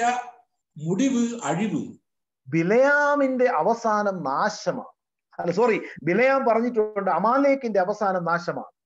பிழையாம் சொல்லியிருக்கிறான் அமலாக் அமலேக்கினுடைய அந்த முடிவு அழிவு என்று சொல்கிறான் ഈ ഈഗോയുടെ പ്രത്യേകത അതിന്റെ അവസാനം നാശമാണ്. இந்த ஈகோவினுடைய அந்த அகம்பாவத்தினுடைய அந்த முடிவு அதனுடைய முடிவு அழிவு என்பதுதான் அதனுடைய குணாதிசயம். അവിടെ ഈ ഈ ഈ ഈഗോയ്ക്ക് യാതൊരു തൃപ്തിയും ഇല്ലെന്ന് നമുക്ക് മനസ്സിലാക്കാൻ സാധിക്കും. இந்த ஈகோவுக்கு எந்த விதமான திருப்தியும் இல்லை என்று நாம் அங்கே புரிந்து கொள்ள முடியும் எத்தனை லபிச்சாலும் ஒரு திருப்தியும் இல்லை எவ்வளவு வைத்தாலும் பெற்றுக்கொண்டாலும் அதிலே திருப்தி அடைவதில்லை ആറാം അധ്യായത്തിന്റെ പതിമൂന്നാം വാക്യം ഇങ്ങനെയാണ് വായിക്കുന്നത് എങ്കിൽ അവൻ യഹൂദ വംശക്കാരനാകുന്നുവെങ്കിൽ നീ അവനെ ജയിക്കയില്ല ஆறாம் அதிகாரத்திலே நாம் ஆஹ், பார்க்கிறோம் பதிமூன்றாம் வசனத்திலே അതിന്റെ അവസാന ഭാഗം யூத அவன் யூத குலமானால் நீர் அவனை மேற்கொள்ளாமல் அவனுக்கு முன்பாக தாழ்ந்து போவது நிச்சயம் என்றார்கள் ഇത് ഈഗോയുടെ ഒരു വലിയ പ്രത്യേകത എപ്പോഴും ജയിക്കണം മുന്നിൽ നിൽക്കണം എന്നുള്ള ആഗ്രഹമാണ് இந்த ஈகோ உடையவனுக்கு இருக்கக்கூடிய ஒரு தன்மை அஹ், ஒரு காரியம் என்னவென்றால் அவன் எப்பொழுதுமே ஜெயிக்க வேண்டும் வெற்றி அடைய வேதம் வேண்டும் என்ற ஆசை. പ്രിയപ്പെട്ടവരെ നമ്മുടെ ജീവിതത്തിൽ വിജയം എന്നുള്ളത് വേദപുസ്തകത്തിന്റെ ഭാഷയല്ല அன்பானவர்களே நம்முடைய வாழ்க்கையிலே அஹ், வெற்றி அல்லது ஜெயம் என்று சொல்வது அஹ், நாம் சொல்லுகிற நம்முடைய மொழியாக நம்முடைய காரியமாக இல்லை ഭാ- അൻ- ഭാഗ്യകരം അല്ലെങ്കിൽ ബ്ലസ്സഡ് അനുഗ്രഹം ഇതാണ് ഒരു ദൈവവചനം സംബന്ധിച്ച് ആവശ്യം பாக்கியவான் அல்லது ஆசீர்வாதம் என்பதுதான் தேவ பிள்ளையினுடைய ஒரு நிலைமையாக அவன் பெற்றுக்கொள்ளதா இருக்கிறது നമ്മുടെ ജീവിതത്തിൽ നാം വിജയിക്കുകയല്ല മറിച്ച് നാം അനുഗ്രഹിക്കപ്പെടുകയാണ് நம்முடைய வாழ்க்கையை நாம் வெற்றி அடைவதல்ல மாறாக நாம் ஆசீர்வதிக்கப்படுகிறோம் പ്രിയപ്പെട്ടവരെ ഈഗോയുടെ വലിയൊരു പ്രത്യേകത ഒരു മാറ്റവും അവനുണ്ടാകത്തില്ല ஈகோ உடையவன் அவனுடைய அஹ், தனித்தன்மை என்னவென்றால் அவனுக்கு எந்த விதமான மாற்றமும் சம்பவியா சம்பவியாது നമുക്കറിയാം നാം പലപ്പോഴും ദൈവവചനം കേൾക്കുമ്പോൾ നമ്മുടെ ഉള്ളിൽ ഉണ്ടാകുന്ന മനോഭാവം நாம் அறிவோம் தேவசனத்தை நாம் கேட்கும் பொழுது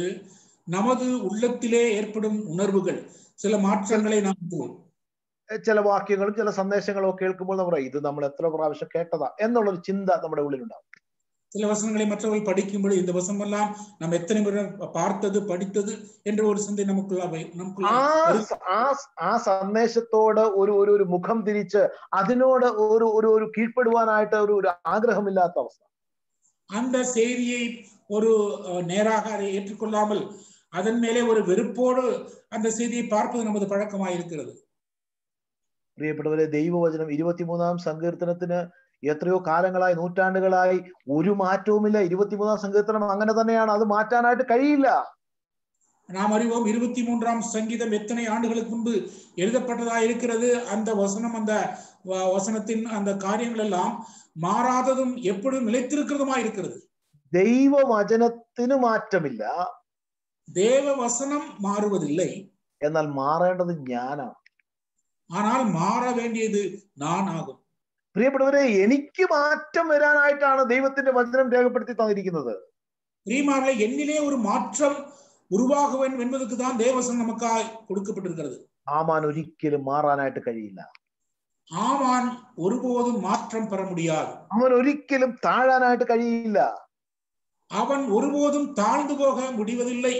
അവന്റെ അവസാനം നാശമാണ് அவனுடைய முடிவு அழிவாய் இருக்கிறது നമ്മുടെ ജീവിതത്തിലേക്ക് നമുക്കൊന്ന് പരിശോധിച്ച് നോക്കാം നമ്മെ ഒന്ന് സ്വയത്തെ ഒന്ന് പരിശോധിച്ച് നോക്കാം നാം എവിടെയാണ് നിൽക്കുന്നത് நம்முடைய வாழ்க்கையை சற்று சிந்தித்து பார்ப்போம் நம்முடைய வாழ்க்கையை சற்று திரும்பி பார்ப்போம் நாம் எங்கே இருக்கிறோம் ഏഹ് അഞ്ചാം അധ്യായം ഈ എസ്തറിന്റെ പുസ്തകം തന്നെ ആ, അഞ്ചാം അധ്യായം അതിന്റെ പതിനൊന്ന് മുതൽ ഉള്ള ആ, വാക്യങ്ങൾ ഒന്ന് വായിക്കാം അതിന്റെ പതിനൊന്ന് മുതലുള്ള വാക്യങ്ങൾ ഞാൻ വായിക്കുന്നു ഹാമാൻ അവരോട് തന്റെ ധനമഹാത്മ്യവും പുത്രബഹുത്വവും രാജാവ് തനിക്ക് നൽകിയ ഉന്നത പദവിയും പ്രഭുക്കന്മാർക്കും രാജഭൃത്യന്മാർക്കും മേലായി തന്നെ ഉയർത്തിയിരിക്കുന്നതും വിവരിച്ചു പറഞ്ഞു. എസ്തർ രാജ്ഞിയും താൻ ഒരുക്കിയ വിരുന്നിനും എന്നെ അല്ലാതെ മറ്റാരെയും രാജാവിനോട് കൂടെ ചെല്ലുവാൻ അനുവദിച്ചില്ല. നാളെയും രാജാവിനോട് കൂടെ വിരുന്നിന് ചെല്ലുവാൻ എന്നെ ക്ഷണിച്ചിരിക്കുന്നു. എങ്കിലും യഹൂദനായ മോർദേക്കായി രാജാവിന്റെ വാതിൽക്കൽ ഇരിക്കുന്നത് കാണുന്നിടത്തോളം ഇതൊന്നും കൊണ്ട് എനിക്ക് ഒരു തൃപ്തിയുമില്ല എന്ന് ഹാമാൻ പറഞ്ഞു. ஐந்தாம் அதிகாரம் பதினொன்று முதல்ல சில வசனங்கள். தன் ஐஸ்வர்யத்தின் மதுமையும் தன் பிள்ளை தன் பிள்ளைகளின் திரட்சியும் ராஜா தன்னை பெரியவனாக்கி தன்னை பிரபுக்கள் மேலும் ராஜாவின் ஊழியக்காரர் மேலும் உயர்த்தின எல்லாவற்றையும் ஆமான் அவர்களுக்கு விவரித்து சொன்னான் பின்னையும் ஆமான் ராஜஸ்திரியாகிய எஸ்தரும் தான் செய்த விருந்துக்கு ராஜாவுடனே கூட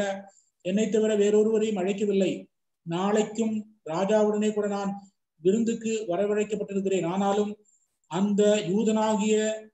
மொர்தேக்காய் ராஜாவின் அரண்மனை வாசலில் உட்கார்ந்திருக்கிறதை நான் காணுமளவும் அவையெல்லாம் எனக்கு ஒன்றுமில்லை என்றார் പ്രിയപ്പെട്ടവരെ ഇത് എനിക്ക് വളരെ ആശ്ചര്യമായിട്ട് തോന്നി നോക്കുക ഇവിടെ ഹാമാനെ സംബന്ധിച്ച് രാജാവ് കഴിഞ്ഞാൽ അടുത്ത സ്ഥാനം ഹാമാൻ இதை நான் பார்க்கிறது மிகவும் ஆச்சரியமா இருக்கிறது இங்கே ராஜாவுக்கு பின்னால் ஆஹ், பெரிய ஸ்தானம் உடையவன் பதவி உடையவன் இந்த ஆமான் தான் എന്നാൽ ഹാമാൻ പറയാ എനിക്ക് ഈ ഒരു കാര്യം അല്ല മോർദാക്കായെ കാണുമ്പോൾ എനിക്ക് ഒരു തൃപ്തിയും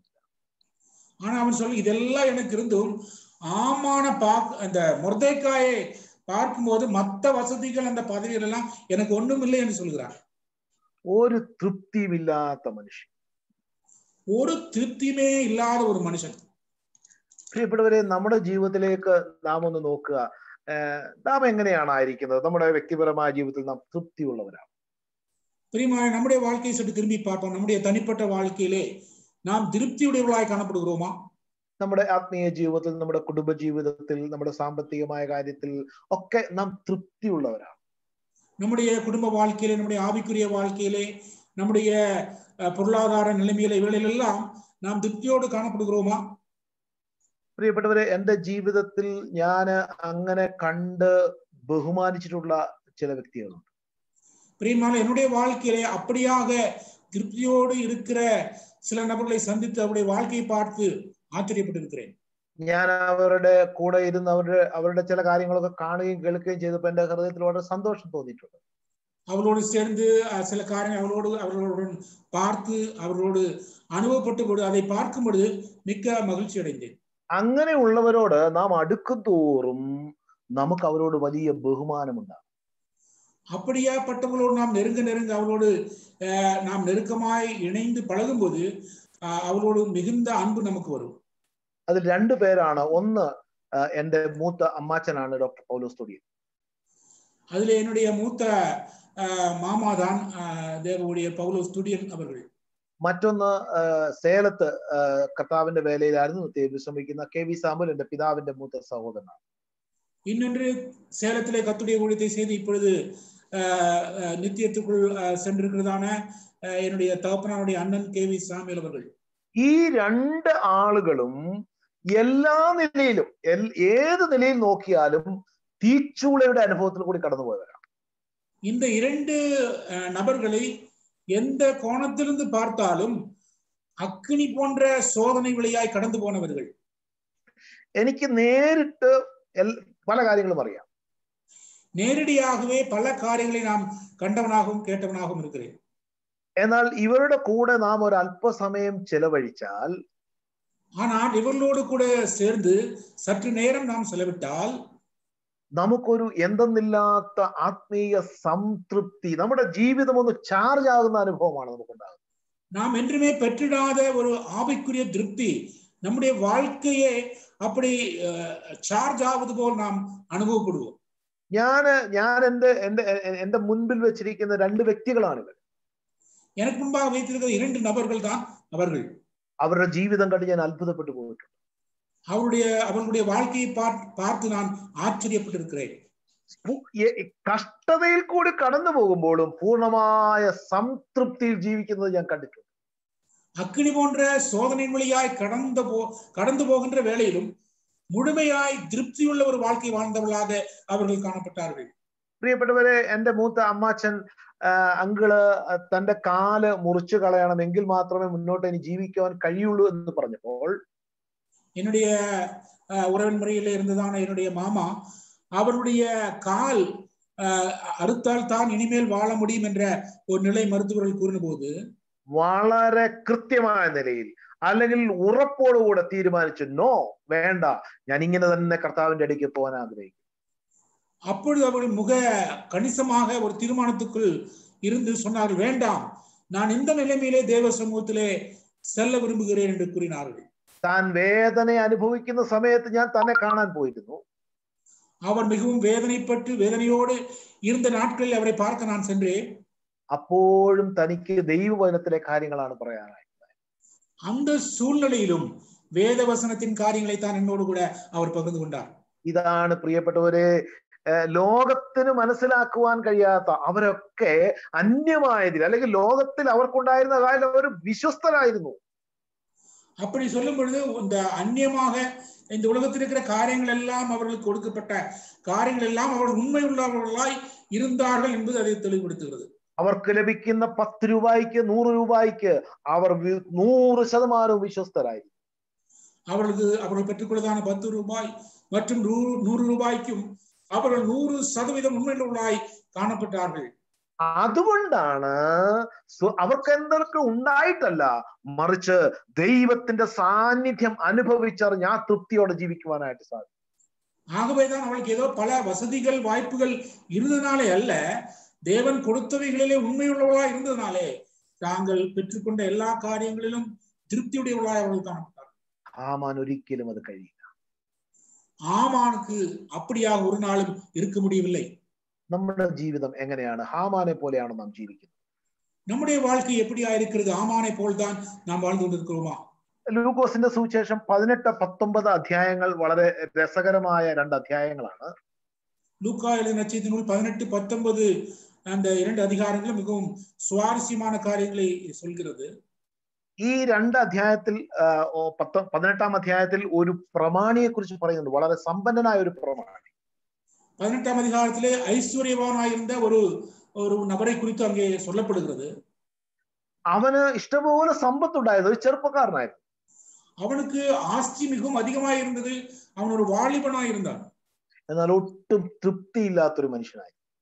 ஆனால் கொஞ்சம் கூட திருப்தி இல்லாத ஒரு மனுஷனாக அவன் இருந்தான் അവൻ പറഞ്ഞു എനിക്ക് നിത്യജീവൻ എനിക്ക് വേണം ഇനി നിത്യജീവനെ വേണം அவன் கேட்கிறான் நித்திய ஜீவன் எனக்கு வேண்டும் அதுக்கு நான் என்ன செய்ய வேண்டும் என்று கேட்கிறான் ഈ നിത്യജീവൻ തനിക്ക് ലഭിച്ചാലേ തനിക്ക് സന്തോഷം ഉണ്ടാകുകയുള്ളൂ இந்த நித்திய ஜீவனை அவன் பெற்றுக்கொண்டால் தான் தன்னுடைய வாழ்க்கையிலே சந்தோஷம் உண்டாகும் അവൻ എത്രയോ നല്ലവനായിരുന്നു ന്യായപ്രമാണം മുഴുവൻ പ്രമാണിക്കുന്നവനായിരുന്നു அவன் எவ்வளவு நல்லவனாயிருந்தான் நியாயப்பிரமாணத்தை முழுமையாக கடைபிடிக்கிறவனாயிருந்தான் നമ്മുടെ വാക്കിൽ അല്ലെങ്കിൽ നമ്മുടെ ഭാഷയിൽ പറഞ്ഞാൽ നല്ല ഒരു ആത്മീയനായിരുന്നു நம்முடைய வாழ்க்கையை நம்முடைய வார்த்தையிலே அதை சொல்ல வேண்டும் என்று சொன்னால் நல்ல ஒரு ஆவிக்குரியவனாய் அவன் இருந்தான் എന്നാൽ ഏഹ്, മർക്കോസ് അവനെ കുറിച്ച് പറഞ്ഞിരിക്കുന്നത് അവൻ വിഷാദിച്ച് ദുഃഖിതനായി കർത്താവിന്റെ അടുത്ത് നിന്ന് പൊയ്ക്കളഞ്ഞു ஆனால் மார்க்கு அவனை குறித்து சொல்கிறது அவன் அவன் துக்கத்தோட மிகவும் ஆஸ்தியுடையவனாய் இருந்ததுனாலே துக்கத்தோடு கர்த்தருடைய சமூகத்து ஆண்டுடைய சமூகத்திலிருந்து அவன் போனான் என்று படிக்கிறோம் പ്രിയപ്പെട്ടവരെ ആഹ്, എങ്- എവിടെ നിന്നാണ് അവൻ ഈ ന- ദുഃഖിച്ചു പോയത് നിത്യജീവന്റെ അടുത്ത് നിന്നാണ് പോയത് அவனுடைய எந்த இடத்திலிருந்து அவன் அங்கே விலகிச் செல்கிறான் நித்திய ஜீவனிலிருந்து விலகிச் செல்கிறான் അവനോട് പറഞ്ഞത് നിന്റെ സമ്പത്തൊക്കെ ഒന്ന് വിട്ടുകളയാൻ അത് ദരിദ്രർക്ക് കൊടുക്കാൻ പറഞ്ഞത് அவனிடத்தில் சொல்லப்பட்டது என்னவென்று கேட்டால் உன்னுடைய ஆஸ்திகள் அவைகள் எல்லாம் ஆஹ், ஏழைகளுக்கு கொடு என்றுதான் ஆஹ், சொல்லப்பட்டது ഇത് തന്റെ സ്വന്തം എന്ന് ചിന്തിച്ചത് കൊണ്ടാണ് അത് കൊടുക്കാൻ കഴിയാതിരുന്നത് இதெல்லாம் என்னுடையது என்னுடைய சொந்தம் என்று நினைத்ததால் தான் அதை அவன் கொடுக்க முடியாமல் அப்படியே போகிறான் എന്നാൽ ഇത് അന്യമാണ് എന്റേതല്ല എന്ന ചിന്ത വരുമ്പോഴാണ് സന്തോഷത്തോടെ കൊടുക്കാൻ കഴിയുന്നത് ஆனால் இது அந்நியமானது என்று- என்று நினைக்கும் பொழுதுதான் அதை சந்தோஷமா நம்மால் மற்றவர்களுக்கு கொடுக்க முடியும் പ്രി- പ്രിയപ്പെട്ടവരെ ആ ചിന്ത വരണമെങ്കിൽ കർത്താവ് എന്റെ സമീപം വരു വരിക എന്ന് മാത്രമല്ല ആ കർത്താവാണെന്ന് എനിക്ക് ബോധ്യം മനസ്സിലാക്കണം ബോധ്യമുണ്ടാവണം அந்த நிலைமை எனக்கு என்னுடைய சிந்தைக்குள் எப்பொழுது வரும் என்று கேட்டால் என்னிடத்திலே சொல்வது யார் என்று ஆண்டவர்தான் இதை என்னிடத்திலே சொல்கிறார் என்ற உண்மையான உணர்வு வரும்போதுதான் அப்படியாக செய்யக்கூடிய துணிவும் வரும் ഈ ഈ സത്യമാണ് പത്തൊൻപതാം അധ്യായത്തിൽ സക്കായിയുടെ പാഠം പഠിക്കുമ്പോൾ മനസ്സിലാകുന്നത് இந்த ஒரு சத்தியத்தை தான் அதனுடைய அடுத்த அதிகாரம் பத்தொன்பதாம் அதிகாரத்திலே நாம் சகேயின் வாழ்க்கையிலிருந்து கற்றுக்கொள்கிறோம் അവനും വലിയ ധനവാനായിരുന്നു அவனும் பெரிய ஒரு ஐஸ்வர்யவானாகத்தான் இருந்தான் എന്നാൽ തന്റെ അടുക്കൽ വന്നിരിക്കുന്നത് നിത്യജീവനാണെന്ന് അവൻ മനസ്സിലായി ஆனால் அவன் அருகே அவனுக்கு உள்ளாக வருவது நித்திய ஜீவன் தான் என்பதை அவன் அறிந்து கொண்டான் അവിടെ പറയുന്നുണ്ട് അ- അവൻ ചതിവായി വാങ്ങിയിട്ടുള്ളത് നാല് മടങ്ങ് മടക്കി കൊടുക്കും அங்கே அங்கே நாம் படிக்கிறோம் அவன் அநியாயமாய் வாங்கின காரியங்களை நாளத்தனையாய் திரும்ப செலுத்த முற்படுகிறான் പകുതി എൻ- തന്റെ വസ്തുവിൽ അല്ലെങ്കിൽ തനിക്കുണ്ടായിരിക്കുന്ന സമ്പത്തിൽ പകുതി ദരിദ്രന്മാർക്ക് ഫ്രീ ആയിട്ട് കൊടുക്കുകയാണ് அவனுக்கு இருக்கிற ஐஸ்வர்யத்திலே பகுதியை ஏழைகளுக்கு இனாமாக தானமாக கொடுக்கிறான் கொடுக்கிறேன் என்று சொல்கிறான் നാം ഇതിനു ശേഷം ഈ ഞാൻ ഈ പറഞ്ഞ വാക്യം ഒന്ന് ശ്രദ്ധിച്ചു വായിച്ചറിയാം പിന്നെ സക്കായിക്ക് വേറെ ഒന്നുമില്ല സക്കായി ദരിദ്രനായി இந்த வேத பகுதியை சற்று கவனமாக நாம் வாசித்தால் பின்னர் அதை அறிந்து கொள்ள முடியும் இதையெல்லாம் கொடுத்த பிறகு அஹ், சகேயின் வசம் ஒன்றுமே இல்லை அந்த சூழ்நிலை தான் സക്കായി ഇതിന് സക്കായി ഒരു ഒരു ഒരു ഒരു ഒരു അവനൊരു ചുങ്കക്കാരനായിരുന്നു സമ്പത്ത് അല്ലെങ്കിൽ പണം എന്ന് പറയുന്നത് ഏറ്റവും മുഖ്യ സ്ഥാനം കൊടുത്തിരുന്ന വ്യക്തിയായിരുന്നു சகேவனை குறித்து நாம் படிக்கும்போது அவன் ஒரு ஆயக்காரனாக இருந்தான் பணம் என்று சொல்லி பணத்தை மிகவும் முக்கியப்படுத்தி வாழ்கிற ஒரு மனுஷனாக அவன் இருந்தான் എന്നാൽ അതൊക്കെ അവൻ വിട്ടുകളഞ്ഞു ஆனால் அவைகளை எல்லாம் அவன் விட்டு விட்டான் என்று படிக்கிறோம் ദൈവത്തിന്റെ സാന്നിധ്യം അനുഭവിച്ചറിയുന്ന വ്യക്തിക്ക് മാത്രമേ അത് സാധിക്കൂ தேவனுடைய சமூகத்தை அனுபவித்து அனுபவித்து அறிகிற ஒரு நபருக்கு தான் அது சாத்தியமாய் சாத்தியமாகும் എന്നെ കേൾക്കുന്ന പ്രിയപ്പെട്ടവരെ നമ്മുടെ ജീവിതത്തിൽ ഹാമാന്റെ അനുഭവമാണോ നമുക്കുള്ളത് பிரியமாலே என்னை கேட்கிறவர்களே நம்முடைய வாழ்க்கை ஆமானுடைய ஒரு வாழ்க்கையை போல் இருக்கிறதா ഹാമാൻ കൊള്ളക്കാരനായിരുന്നു അല്ലെങ്കിൽ സ്വയം ആ, ഉയരണമെന്നുള്ള ആഗ്രഹമുള്ളവനായിരുന്നു ஆமான் ஒரு கொள்ளையடிக்கிறவனாக அல்லது சுயம் எப்பொழுதும் உயர்ந்திருக்க வேண்டும் என்று சொல்லி மேட்டிமையான சிந்தையுடையவனாய் காணப்பட்டான் അഹംഭാവമുള്ളവനായിരുന്നു ഈഗോ ഉള്ളവനായിരുന്നു அவன் அகம்பாகம் உடையவனாக ஈகோ உடையவனாய் அவன் காணப்பட்டான் യാതൊരു തൃപ്തിയും ഇല്ലാത്തവൻ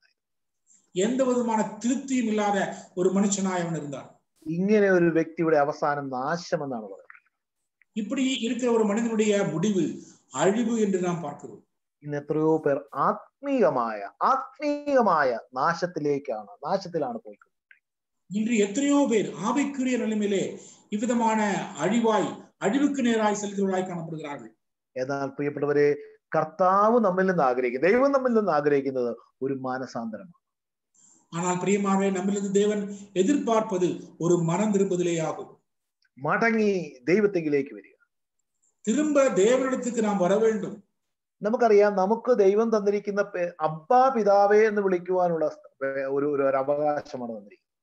நாம் அறிவோம் தேவன் நமக்கு கொடுத்திருக்கிற ஸ்லாக்கியம் அபா பிதாவே என்று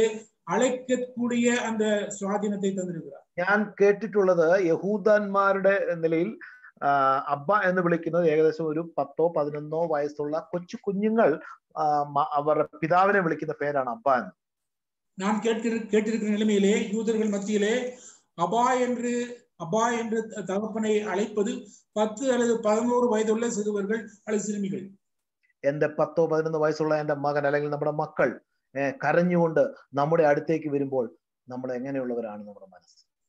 அல்லது நான் இப்ப இப்படி நாம் எப்படி பார்ப்போம் நம்முடைய பத்து பதினோரு வயதுள்ள ஒரு சிறு பிள்ளை அழுது கொண்டே நம்மிடத்துல வரும் பொழுது அந்த குழந்தையை நாம் எப்படியாய் பார்ப்போம் எப்படியாய் அந்த குழந்தையோட நாம் அணுகுவோம் ഓ എന്റെ പ്രിയപ്പെട്ടവരെ വാരിയെടുത്ത് നാം ചുംബിക്കും എന്താണ് പ്രശ്നം അവന്റെ പ്രശ്നത്തിന് പരിഹാരം നാം കാണും அவனை கட்டி அணைத்து அவனை அவ- அவ- அணைத்துக் கொண்டு உன்னுடைய பிரச்சனை என்ன உனக்கு என்ன வேண்டும் என்று கேட்போம் നമുക്ക് മടങ്ങി നമ്മുടെ കർത്താവിലേക്ക് ചെല്ലാം நாம் திரும்ப நமது ஆண்டவர் ஆண்டவரண்டை திரும்பி செல்வோம் അവൻ ദീർഘക്ഷമയും മഹാകരുണയും ഉള്ളവനാണ് அவன் அவர் மகா இறுக்கமும் மிகுந்த கிருபையுடைய தேவனாய் இருக்கிறார் നമ്മെ ആത്മീയമായി നമ്മെ ശക്തിപ്പെടുത്തുവാൻ അനുഗ്രഹിക്കുവാൻ മതിയായവനാണ് நம்மை ஆவிக்குரிய நிலைமையிலே ஆசீர்வதிக்க நம்மை திருப்திப்படுத்த அவர் போதுமானவராய் இருக்கிறார் തീർച്ചയായിട്ടും നമുക്ക് ആത്മീയമായി അനുഗ്രഹിക്കപ്പെട്ടവരായിട്ട് ജീവിക്കുവാൻ ഇടയാകും நிச்சயமாகவே ஆவிக்குரிய நிலைமையிலே ஆசீர்வதிக்கப்பட்டவர்களாய் நம்மால் வாழ முடியும் പ്രിയപ്പെട്ടവരെ തൃപ്തിയുള്ളവരായി സന്തോഷത്തോടെ ജീവിക്കാനായിട്ട് സാധിക്കും பிரியமாவிலே திருப்தியுடையவர்களாய் சந்தோஷமுடையவர்களாய் நம்மால் வாழ முடியும் ലോകത്തിൽ എന്തൊക്കെ ഉണ്ടെങ്കിലും പദവിയായിക്കൊള്ളട്ടെ പണമായിക്കൊള്ളട്ടെ ഇതൊന്നും ഹാമാന് തൃപ്തി നൽകി ஆஹ் அந்த ஆமானை குறித்து பார்க்கும் பொழுது எல்லா பதவியும் அவனுக்கு இருக்கிற ஆஸ்தி எல்லாம் அவனுக்கு என் ஒன்றுமே திருப்திப்படுத்தவில்லை ലോകത്തിൽ ഒന്നും നമുക്ക് തൃപ്തി നൽകത്തില്ല உலகம் நமக்கு எந்த நன்மையும் நமக்கு திருப்தியை கொடுக்காது എന്നാൽ ദൈവത്തിന്റെ സാന്നിധ്യമാണ് നമുക്ക് തൃപ്തി നൽകുന്നത് ஆனா தேவனுடைய சமூகம் அவருடைய சமூகத்திலே நாம் நாம் திருப்தியுடையவர்களாய் வாழ முடியும் എനിക്ക് ഇങ്ങനെ ഒരു അവസരം വീണ്ടും ഒരുക്കി തന്ന ആ, കോടമ്പാക്കം ബ്രദർ അസംബ്ലിയുള്ള നന്ദി പ്രത്യേകം അറിയിക്കുന്നു അതോടൊപ്പം തന്നെ കർത്താവിന്റെ ദാസൻ സാം തോമസിനോടുള്ള പ്രത്യേകമായ നന്ദിയും അറിയിച്ചുകൊണ്ട് ഞാൻ എൻ്റെ വാക്കുകളെ അവസാനിപ്പിക്കുന്നു ദൈവനാമം ഇന്നും എന്നേക്കും വാഴ്ത്തപ്പെടുന്നതാണ് எனக்கு இப்படியாப்பட்ட ஒரு இப்படியாப்பட்ட ஒரு வாய்ப்பை உருவாக்கி தந்த கோடம்பாக்கம் சபையார் ஆஹ், சகோதரர் ஜான்சன் அவர்களுக்கும் ஆஹ், மொழியாக்கம் செய்த சாம் தாமஸ் அவர்களுக்கும் நன்றி கூறி ஆஹ், இந்த வாய்ப்புக்காக நன்றி தெரிவித்து என்னுடைய வார்த்தைகளை முடித்துக் கொள்கிறேன் தேவனுடைய நாமம் மகிமைப்படுவதாக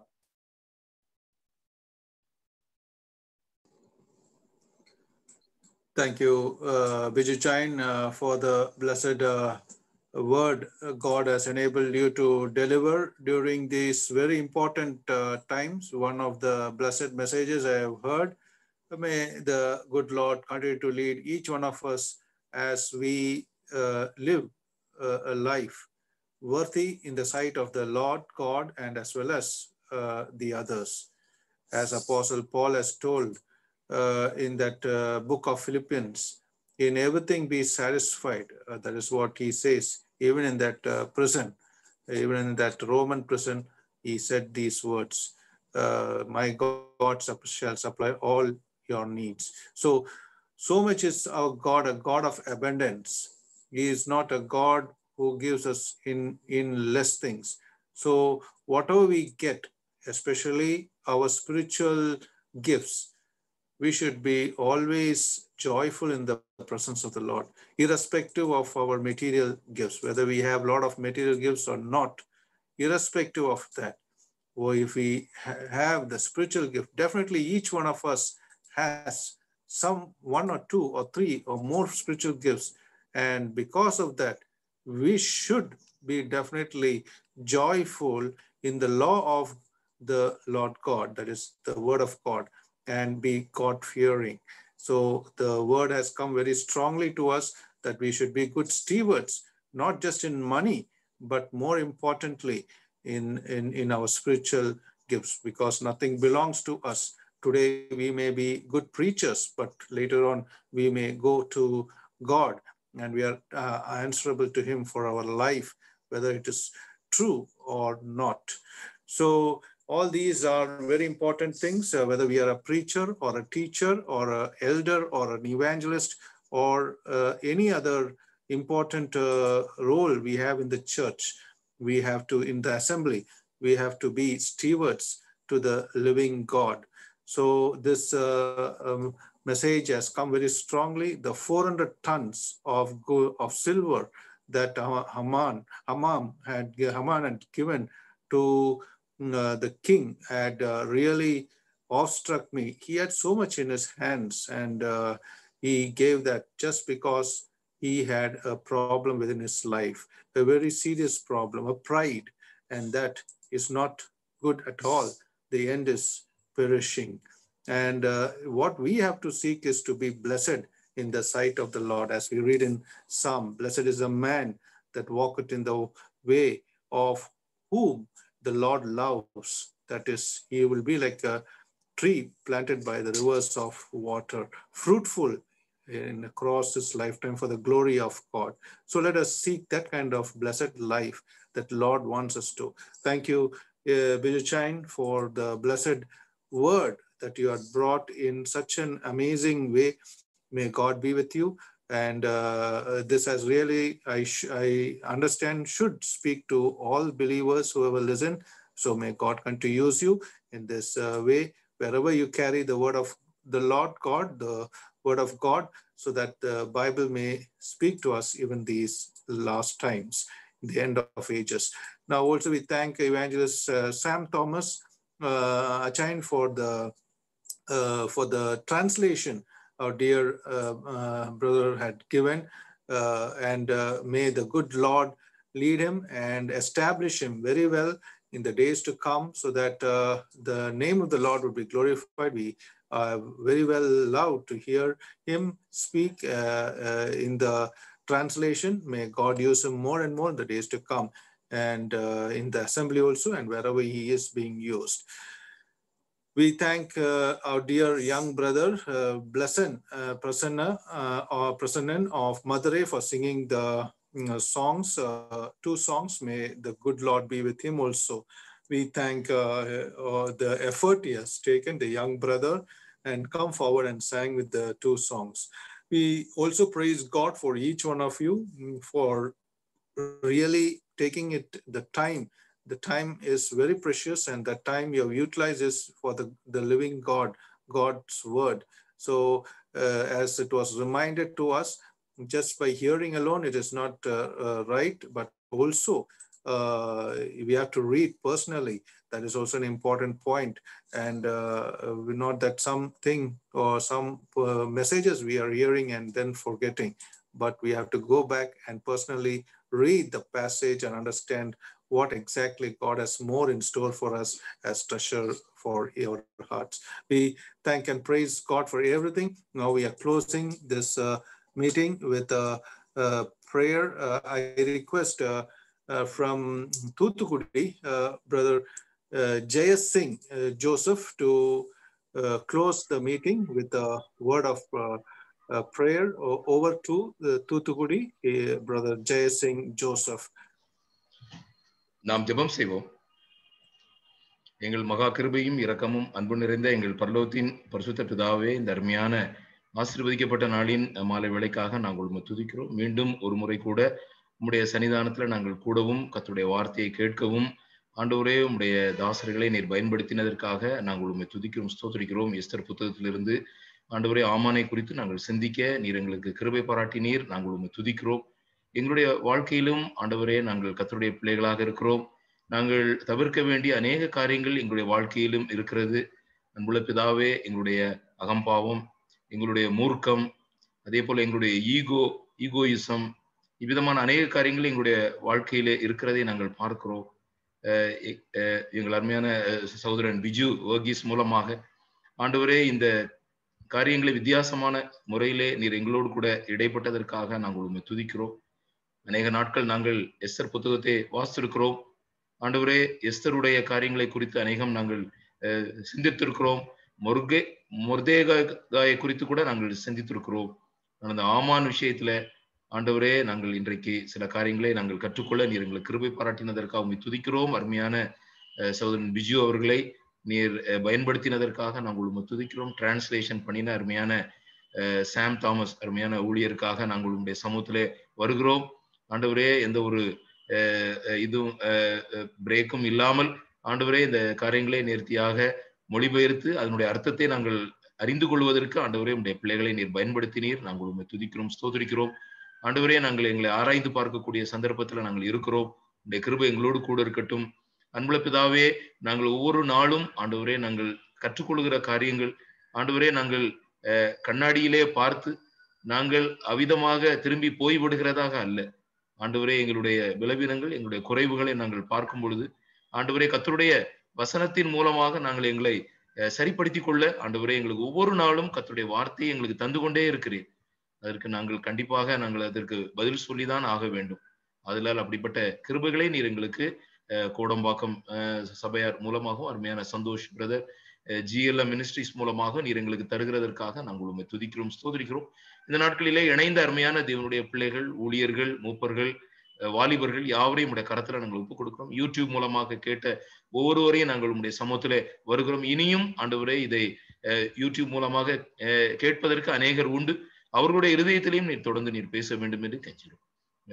அருமையான விஜய் பிரதரையும் அருமையான சாம் தாமஸ் பிரதரையும் ஊழியர்களை உங்களுடைய கரத்துல நாங்கள் ஒப்புக் கொடுக்கிறோம். பலப்படுத்தும் ஆசிர்வதியும் இன்னும் வரும் நாட்களிலே அதிகமாக நம்முடைய பிள்ளைகளை பயன்படுத்த வேண்டும் என்று நாங்கள் கெஞ்சுகிறோம். ப்ரோக்ராம் பண்ண அருமையான தேவனுடைய பிள்ளைகளோடு உடைய கிருபை கூட இருக்க வேண்டும் என்று கெஞ்சுகிறோம். நெட்வொர்க் சரியாக இயங்க நீர் உதவி செய்தே நாங்கள் உண்மை துதிக்கிறோம். இரவு நேரத்திற்குள்ளாக போகிறோம். எங்களுக்கு நல்ல நித்திரையை தாரும். காலையில நாங்கள் எழும் பொழுது சுகத்தோடும் பலத்தோடும் எழுந்து கத்தருடைய நாமத்தை மைமைப்படுத்த வேண்டும் என்று ஆண்டவரும் மீட்பரும் ரட்சகருமா இயேசு கிறிஸ்துவின் ஒப்பற்ற நாமத்துல தயவாய் வேண்டி கேட்டுக்கொள்கிறோம். ஜீவனுள்ள நல்ல பிதாவே ஆமேன். May the love of God the Father, the grace of the Lord Jesus Christ, and the fellowship of the Holy Spirit be with each one of us now and forevermore. Amen. Thank you, Brother Jay Singh Joseph, for the uh, blessed prayer. Uh, closing prayer. May the good Lord be with you and your family and the assembly where you're worshiping the Lord. Now, with this, we are closing uh, this meeting. God willing, uh, we shall meet tomorrow evening uh, by 6.45. Till then, may the blessed Lord be with each one of us and not only correct us, but we would also be able to live Christ in our life. May the blessed Lord be with us. God bless.